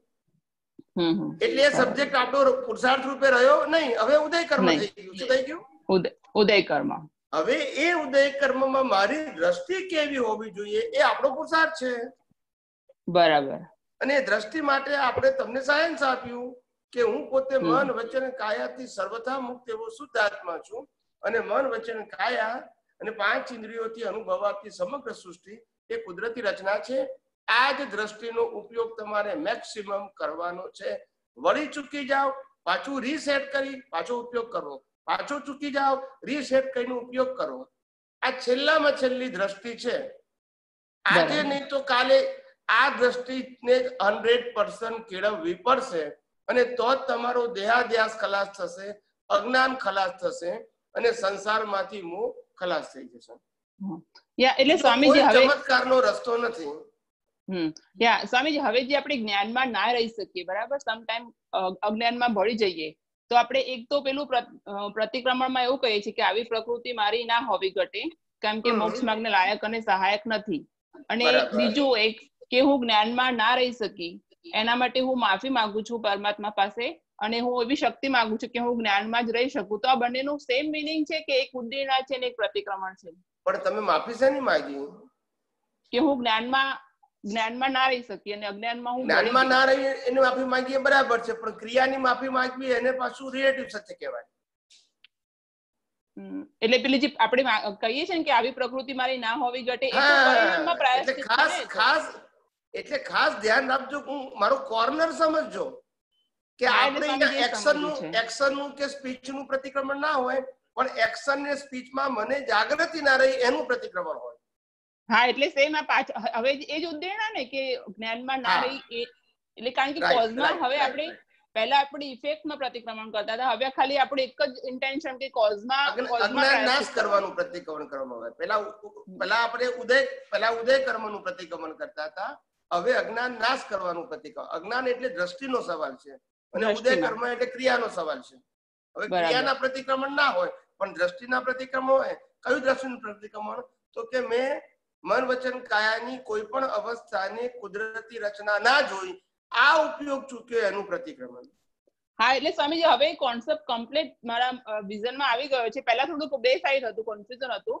પણ હવે આજે ઉદ્દીર્ણ સમજ્યા પછી હવે ફાઇનલ થઈ ગયું કે એ જ જે બી કરીએ એ ઉદ્દીર્ણ જ કરવાની છે હવે જ્ઞાનમાં. પ્રતિક્રમણ તો હવે ડિસ્ચાર્જમાં છે. એ થવું કે ના થવું એ આપણા હાથમાં નથી રાઈટ બસ બસ બસ. યા સ્વામી બીજો ક્વેશ્ચન પછી હવે પૂછીશ. ટાઈમ થઈ ગયો છે તો પૂછો. Okay okay. જય સચિદાનંદ. જય થેન્ક યુ સ્વામીજી. જય જય સચ્ચિદાનંદ સચિદાનંદ. જય સચિદાનંદ. જય સચ્ચિદાનંદ પૂર્ણિમા પટેલ અનમ્યુટ કરજો.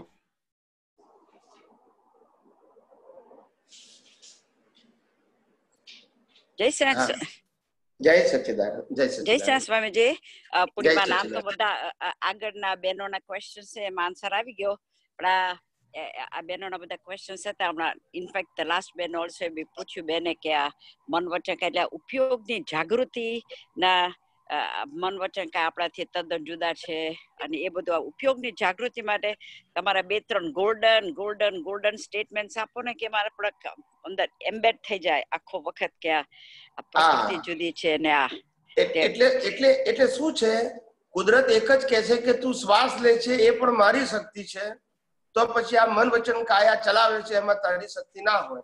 હવે તારી શક્તિ જેમ નથી એમ સામેવાળી વ્યક્તિમાં પણ શ્વાસ લેવાની ને મન વચન કાયાની ચલાવવાની સ્વતંત્ર શક્તિ નથી. બરાબર બરાબર છે? છે હવે મન વચન કાયા કંઈ પણ કરે છે અતિક્રમણ કરે પ્રતિક્રમણ કરે સામાયિક કરે વિધિ કરે ગુસ્સો કરે પ્રેમ કરે જે કઈ કરે એને તું કુદરતી રચના તરીકે કેમ જોતો નથી? એ તારી ભૂલ છે. તું નથી કરતો કે કરે છે એ ભૂલ નથી. બરોબર સ્વામીજી. અને એટલે એટલા દ્રષ્ટિ જ દ્રષ્ટિ જ દ્રષ્ટિ પણ કોન્સ્ટન્ટ દ્રષ્ટિ. કુદરત કે છે બધું કરું છું હું ને તું કે છે હું કરું છું. આ તો તારી ભૂલ છે. હા પણ સ્વામીજી એટલે દ્રષ્ટિને આમ આમ સોલિડ કરવા તમારા કોઈ ગોલ્ડન આપના કેટલા બધા બ્યુટીફુલ સ્ટેટમેન્ટ છે એમાંથી દ્રષ્ટિને? એક એક ભાઈએ એક ભાઈએ બરોડામાં પ્રશ્ન પૂછ્યો હતો કે સ્વામીજી પ્રતિક્રમણને પુરુષાર્થ ના કહેવાય એ હજુ અમને સમજાતું નથી. મેં કહું પ્રતિક્રમણ કોણ કરે છે? તો કે ફાઇલ નંબર એક. મેં કહું ફાઇલ નંબર એક શ્વાસ વગર ચાલે તો કે ના મૂકું શ્વાસ કોણ આપે છે? કુદરત. તો મૂક્યું જે કુદરત શ્વાસ આપે જેનાથી આ મશીન ચાલે છે. એ આપણો પુરુષાર્થ છે? આ ગાડીમાં પેટ્રોલ નાખ્યું ચાલે તો ગાડી એવું કહે છે કે મારો પાવર છે? કે છે. તો પછી આ ગાડી કેમ કે છે? મારો પાવર છે એવું. બરોબર છે. જેમ અહીંયા શ્વાસ શ્વાસના પાવરથી મન વચન કાયા ચાલે છે અને પેલું પેટ્રોલથી ગાડી ચાલે છે. ગાડી કોઈ કે કહે છે કે હું સો કિલોમીટર ચાલી? ના. તો પછી આ શ્વાસના આ શ્વાસના પાવરથી મન વચન કાયા ચાલે છે તો એમાં તમે એમ કેમ કહો છો કે મેં કર્યું? કર્યું એનો વાંધો નથી પણ તમે માલિક કેમ થઈ જાઓ છો? હા સ્વામીજી. કરતા પણ માલિક થઈ જાઓ છો. અતિક્રમણ કર્યું તે કુદરતી રચના પ્રતિક્રમણ કર્યું તે કુદરતી રચના પણ તમે એને પ્રતિક્રમણને પુરુષાર્થ માનો છો એટલે કે ક્રિયાના માલિક થઈ ગયા. શ્વાસ કુદરતનો ને ક્રિયા તમે કરી. કેવું. કોન્ટ્રાડિક્ટ છે? બરોબર છે આ તો કેવું કહેવાય કે પેટ્રોલ વગર ગાડી ચાલી એના જેવું છે. હા સ્વામીજી ઓકે એટલે ઉપયોગની જાગૃતિ વધારે ને વધારે કરવા આપણે ખાલી આજ બધું you to just go back into આ હા સમજ સમજ ઉપયોગની કરો. જાગૃતિ. આટલું સમજ સમજ કરો કે વિચારો વાણી વર્તન પછી આ પાંચ ઇન્દ્રિયો પાંચ જ્ઞાનેન્દ્રિયોથી દેખાતી દુનિયા આ બધી જ વસ્તુ જ્યારે ઓટો મોડ છે મને નથી દેખાતી ધેટ ઇઝ માય મિસ્ટેક બરોબર સ્વામીજી. કુદરત તો ચોખ્ખું જ કુદરત તો ચોખ્ખું જ કે છે કે શ્વાસોશ્વાસ ને શરૂઆત કરવાથી માંડીને શ્વાસોશ્વાસ બંધ કરવા સુધીની બધી પ્રક્રિયાઓ હું કરું છું અને તને કરાવડાવું છું. તું ખાલી ઇન્સ્ટ્રુમેન્ટ તરીકે કરે છે. વિધાઉટ યોર ઇન્ડિપેન્ડન્ટ પાવર પણ. એમાંથી તું જેટલા પાવરમાં ઇન્ડિપેન્ડ તું એમ કહે છે કે હું ઇન્ડિપેન્ડન્ટ છું એવું માને છે મેં કર્યું એમ માને છે ત્યાં તું રિસ્પોન્સિબલ છું. અને તને એમ લાગે છે કે આ ખરેખર કુદરત જ કરે છે? તો તું જવાબદાર પણ નથી પછી તું શું કરે છે? એનો પ્રશ્ન જ નથી. બરોબર છે પણ ફ્રીક્વન્ટલી અટેચ થઈ જવાય કે મને આવું થયું ને મને આવું થયું. એટલે એટલે એટલા માટે કીધું કે આપણે આ આ જગતનું સનાતન સત્ય જાણ્યા પછી ઉપયોગ કરવાનું ચૂકી ગયા એનું પ્રતિક્રમણ કરવાનું છે ક્રિયાનું નહીં. હા સ્વામીજી. રામે દાખલા તરીકે રામનો છેલ્લો અવતાર ના હોય તો રામ યુદ્ધ કરે લાખો લોકોની હિંસા કરે એના નિમિત્ત બને ત્યાર પછી રામને એમ થાય કે ઓહો આવી હિંસા તો ના કરવી જોઈએ. બસ આનું પ્રતિક્રમણ કરવું પડે એમને. કેમ? કારણ કે કુદરતી રચના ના સમજ્યા રામને. હા હા સ્વામીજી. તો that is to be called a use of scientific vision so કુદરતી રચના at all times you keep under vision પછી પછી તકલીફ શું છે આપણને? હા હા સ્વામીજી. એક ભાઈએ એક ભાઈએ મને કીધું કે મને બહુ ટેન્શન રહે છે. મેં કીધું ટેન્શન રહેવાનું કારણ શું છે કે પ્રેશર?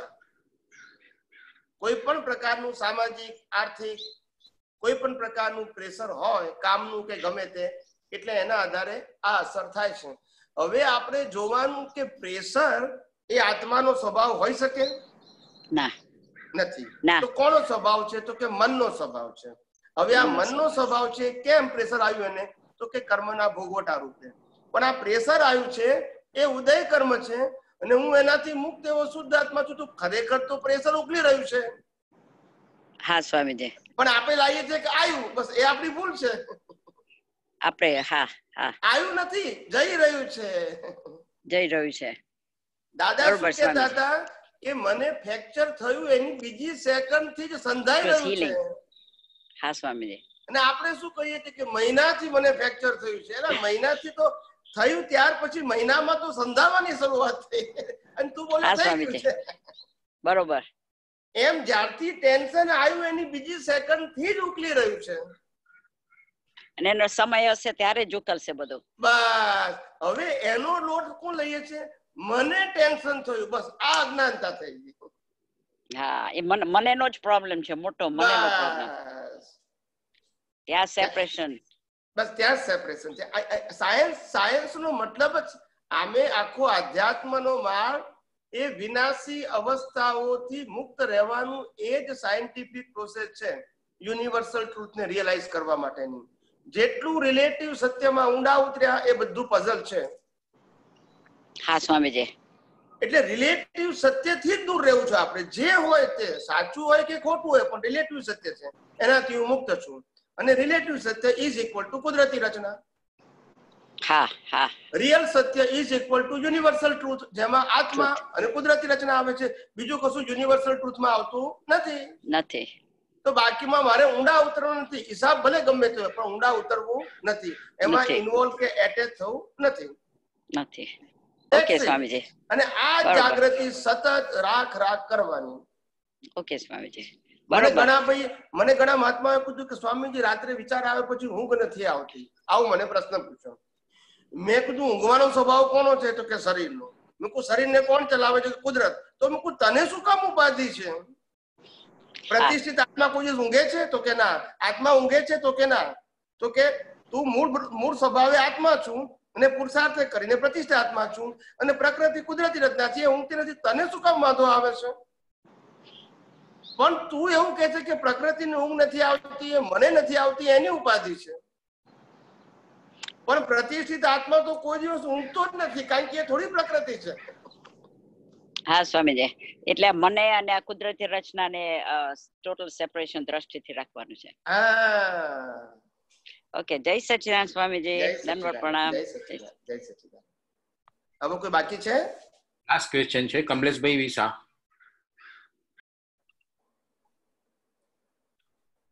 કમલેશભાઈ છે કે જતા રહે? એને છું છું ને. એક તો આપણે એક પ્રતિભા બેને કંઈ પૂછ્યું પ્રકૃતિ પ્રતિક્રમણ પ્રકૃતિ પ્રતિક્રમણ કરે તો વાંધો નથી તો સ- સ્વામીજી પ્રકૃતિ પ્રતિક્રમણ કેવી રીતના કરે? પ્રકૃતિ એના ઉદય કર્મમાં લાવી હોય પ્રમાણે પ્રતિક્રમણ કે આપણો વિષય છે જ નહીં. હા એ તો આપણે સ્વામીજી નથી કઈ રીતે કરે આપણો વિષય ક્યારે આવે કે આપણે કરતા હોઈએ તો? બરોબર છે રાઈટ. પ્રતિક્રમણ કરતા ને આપણે ઓલો જવાબ પ્ર- પ્રકૃતિ પ્રતિક્રમણ કરે તો આપણે વાંધો નથી પણ પ્રકૃતિ કરે પ્રતિક્રમણ કેવી રીતે કરે અને કઈ રીતે કરે? હું એટલે એ રીતે સમજી ગયો પણ એમાં આપણે પડવું જ નથી ને. ઓકે જયારે તમે કુદરતી રચના કીધું પછી તમારો સબ્જેક્ટ ક્યાં આવ્યો? હા ઓકે. કુદરતી રચનાનો મતલબ ડિસાઇડેડ છે this is not your choice either તમે સિમ્પલી માફી માંગો છો હાથ જોડીને માફી માંગો છો સાષ્ટાંગ કરીને માફી માંગો છો ભાવથી માંગો છો માફી that is not your subject નહીં સ્વામીજી, એ બરોબર છે. આ તો ખાલી જસ્ટ કોઈને આપણે કોઈને સહયોગ કે ભાઈ આપણે કહીએ ને ભાઈ પ્રકૃતિ માફી માંગે તો વાંધો નથી. તો કે ભાઈ, પ્રકૃતિ માફી કેતા માંગે તો આપણે કોઈને આપણે પૂછવું એને, સમજાવવું હોય એટલે એ એંગલ લીધા આપણે એટલું કહેવું કે પ્રકૃતિને જે સંજોગો આયા, એમાં એને જે રીતે માફી માંગવાની મેથડ લાગતી હોય, કે સોરી કહીને માફી માંગવી છે હાથ જોડીને માફી માંગવી છે અંદરથી માફી માંગવી છે એ એનો સ્વભાવ છે એ એની સમજણ છે અને લઈને આયા છે તે જ પ્રમાણે ઉકલવાનું છે એમાં ચોઈસ નથી હોતી. ઓકે ઓકે ઉદય કર્મમાં ચોઈસ ના હોય પુરુષાર્થમાં ચોઈસ હોય અને પુરુષાર્થ તો આપણે છૂટા રહેવાનું છે. બસ નહીં ખ્યાલ આવી ગયો બસ આ તો ખાલી બીજા જે પૂછ્યા એટલા માટે એને જવાબ આપવાનો હોય ને એટલા માટે. પ્રતિક્રમણની પ્રક્રિયા વિગતવાર કેવી હોય તો એ રિલેટિવ સત્યમાં કહેવાય. શેમાં કહેવાય? હા રિલેટિવ એ તો બરોબર સ્વામી એ તો આપણે રિયલ સત્યના પુરુષાર્થમાં એ કોલમ આવતું નથી. ને એ તો આપણે વસ્તુ ક્લિયર કટ કહી દે આ તો ખાલી કે ભાઈ રિલેટિવ રિલેટિવ સત્યમાં તો ધર્મમાં જે પ્રતિક્રમણ કીધું છે આલોચના પ્રતિક્રમણ પ્રત્યાખ્યાન ધેટ ઇઝ કરેક્ટ બરોબર છે સ્વામી. આ રિલેટિવ વ્યૂ પોઈન્ટ છે કરેક્ટ છે. હમ બરોબર. સ્વામીજી બીજું એક હતું કે આપણે વચ્ચે આપણે બોલે ભાઈએ પૂછ્યું કે બેભાન અવસ્થામાં પણ કર્મો બંધાય છે. તો સ્વામી એ કર્મો બંધાય છે. એ એ આપણે કયા પ્રકારના કર્મો બંધાય છે? એમાં તો ઘાતી કર્મો તો બંધાતા જ ન હોય ને કે અઘાતી જ કર્મો બંધાય કે કેવી રીતના, કેવા પ્રકારના કર્મો બંધાતા હોય સ્વામીજી? બેભાન અવસ્થા. બેભાન બેભાન અવસ્થામાં, બેભાન અવસ્થાની અંદર બે સ્થિતિ છે. બાળકની અવસ્થા બેભાન છે અને મોટા થયા પછી બેભાન છે. તો બંનેની બેભાન અવસ્થા બહારથી એક સરખી દેખાય પણ અંદરથી જુદી છે. બાળકની મેચ્યોરિટી નથી અને બેભાન છે તો એની રેડિયસ અત્યારે લિમિટેડ છે કરમ બાંધવાની અને મોટા થયા પછી બેભાન થાવ પચાસ સાહીઠ સિત્તેર વર્ષે ત્યારે તમે આખી જિંદગી ભોગવ્યા પછી બધો જ અંદર સ્ટોક છે સંજોગોનો. અને પછી શરીર બેભાન થઈ ગયું છે. પણ પેલો સ્ટોક તો અંદર પડ્યો જ છે બધો. બરોબર છે રાઈટ હા. મેમરીનો હા હા. એટલે એ મેમરી માટે મન વચન કાયની ફિઝિકલ જરૂર નથી એ અંદરની વાત છે. ઓકે હા. જેને આપણે મેમરી કે યાદગીરી કહીએ છીએ. એને યાદ કરીને પણ માણસ ગમે તે રાગદ્વેષ કરી શકે છે. ઓકે ખ્યાલ આવ્યો? આવી જ રીતે જ્યારે મેચ્યોર માણસ હોય એ જેમ રાગદ્વેષ કરી શકે છે એવી રીતે જ્ઞાની પુરુષો પણ બેભાન શરીરની બેભાન અવસ્થામાં સંપૂર્ણ જ્ઞાનમાં રહી શકે છે. સેમ પ્રોસેસ ઓકે અહીંયા જાગૃતિ કર્મ બાંધવા માટે વપરાય બેભાન અવસ્થામાં. અહીંયા જાગૃતિ છૂટા રહેવા માટે વપરાય. દેટ્સ ઇટ ઓકે પણ પ્રોસેસ તો બંનેમાં પ્રતિષ્ઠિત આત્મા જ કરે છે મન વચન કાયા કરતું નથી. હા એ તો બરોબર સ્વામી. હું એટલે બેભાન અવસ્થા તો ટચ થતી નથી. હા હા. બરોબર. ઓકે એટલે એટલે એટલે એનો મતલબ ઘાતી કર્મ પણ એ તે વખતે એને આજે કર્યું એને સાથે ઘાતી કર્મ પણ એ બાંધી શકે છે. ઓફકોર્સ ઓફકોર્સ બાંધી શકે બાંધી શકે. ઓકે ઓકે સ્વામીજી રાઈટ અને સ્વામીજી આપણે ઓલે છે જયેશભાઈની જે વાત હતી આપણે ઓલો ગૌતમ સ્વામી એટલે બેઝિકલી આપણે ગૌતમ સ્વામી જે જે વિજય ટેકાને બીજાને દેશના આપવા માટે ઉપદેશ આપવા માટે ગયા તો એ બેઝિકલી ઉદય કર્મના હિસાબે છે આપણે એમને અલગ પાડે એ રીતે આપણે પકડવાનું જ નથી. બરોબર છે ને સ્વામી? ઉદય કર્મ હમ, ઉદય કર્મ જ, બરાબર છે. ઉદય ભાગ છે બરોબર છે. હા. અને સ્વામીજી ઓલો ભારતીબેને કઈ પૂછ્યું ઠક્કર કે દોષો જોવાય? આપણે કુદરતી પ્રશ્ન. આપણે સ્વામીજી દોષો જોવાય તો એનો મતલબ એ ટાઈમે જ અલગ જ ન રહી શકાય કારણ કે શુદ્ધાત્માને દિશ એ વસ્તુઓ દિશ અલગ રહી ન શક્યા હોય તો પછી કુદરતી રત્ન દિશ જોઈ જોઈ ન શકાય ને? એટલે દોષ શબ્દ છે ને આમ તો આધ્યાત્મ વિજ્ઞાનમાં દોષ શબ્દ આવતો જ નથી. છૂટા નથી રહ્યા એ દોષ છે બીજો કોઈ દોષ શબ્દ લાગતો નથી. ધર્મમાં અને વ્યવહારમાં મન વચન કાયની ક્રિયાને દોષ શબ્દ લાગુ પડે છે. આધ્યાત્મમાં તમે છૂટા ના રહ્યા એને દોષ શબ્દ લાગુ પડે છે. પછી ક્રિયા શું છે? મનની વાણી કાયાની એ સબ્જેક્ટ આવતો નથી. પણ તમે મનના મનના મનના વિચારોમાં ભળી ગયા વાણીના ભળી ગયા વર્તનમાં ભળી ગયા that is your mistake but મન વચન કાયની ક્રિયા that is not your mistake in a spiritual path બરોબર. ને એ સ્વામીજી બરોબર. મારો મારો પ્રશ્ન એ છે સ્વામીજી કે એમાં આપણે જે આપણે શુદ્ધાત્મા તરીકે અલગ ન રહી શક્યા અને આમાં ભળી ગયા. એ દેટ ઇટ સેલ્ફ ઇઝ એ એ કુદરતી રચના તમે બરોબર ન જોઈએ એ જ કહી શકાય ને સ્વામીજી? હા. બરોબર ને સ્વામીજી? બરાબર બરાબર છે. Okay okay Swamiji. જય સચિદાન જય સચિદાન હવે લાસ્ટમાં કોઈ છે? ના કોઈ નથી સ્વામીજી પ્રાર્થના. Okay okay okay. કિશોરભાઈ હે અંતર્યામી પરમાત્મા. હે અંતર્યામી પરમાત્મા. આપ દરેક જીવ માત્રમાં બિરાજમાન છો. આપ દરેક જીવ માત્રમાં બિરાજમાન છો. તેમજ મારામાં પણ બિરાજેલા છો? તેમજ તેમજ મારામાં પણ બિરાજેલા છું. આપનું સ્વરૂપ? આપનું સ્વરૂપ? તે જ મારું સ્વરૂપ છે. એ જ મારું સ્વરૂપ છે. મારું સ્વરૂપ? મારું સ્વરૂપ? શુદ્ધાત્મા છે. શુદ્ધ આત્મા છે. હે શુદ્ધાત્મા ભગવાન. હે શુદ્ધાત્મા ભગવાન. હું આપને અભેદ ભાવે હું આપને અભેદ ભાવે અત્યંત ભક્તિપૂર્વક અત્યંત ભક્તિપૂર્વક નમસ્કાર કરું છું. નમસ્કાર કરું છું. અજ્ઞાનતાએ કરીને અજ્ઞાનતાએ કરીને અજાગૃતિએ કરીને અજાગૃતિએ કરીને મારાથી જે કંઈ પણ દોષો થયા છે મારાથી જે કંઈ પણ દોષો થયા છે અને થાય છે અને થાય છે. તે સર્વ દોષોને તે સર્વ દોષોને આપની સમક્ષ આપની સમક્ષ જાહેર કરું છું. જાહેર કરું છું. તેનો હૃદયપૂર્વક તેનો હૃદયપૂર્વક ખૂબ પસ્તાવો કરું છું. ખૂબ પસ્તાવો કરું છું. અને આપની પાસે અને આપની પાસે ક્ષમા પ્રાર્થું છું. ક્ષમા પ્રાર્થું છું. હે પ્રભુ. હે પ્રભુ. મને ક્ષમા કરો ક્ષમા કરો ક્ષમા કરો. મને ક્ષમા કરો ક્ષમા કરો ક્ષમા કરો. અને ફરીથી આવા દોષો.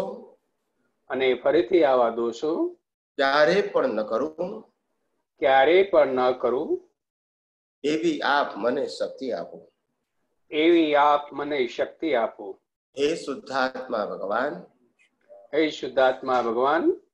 આપ એવી કૃપા કરો કે આપ એવી કૃપા કરો કે અમને ભેદભાવ છૂટી જાય અમને ભેદભાવ છૂટી જાય અને અભેદ સ્વરૂપ પ્રાપ્ત થાય. અને અભેદ સ્વરૂપ પ્રાપ્ત થાય. અમે તમારામાં અમે તમારામાં અભેદ ભાવે અભેદ ભાવે તન્મયાકાર રહીએ. તન્મયાકાર રહીએ. જય સચ્ચિદાનંદ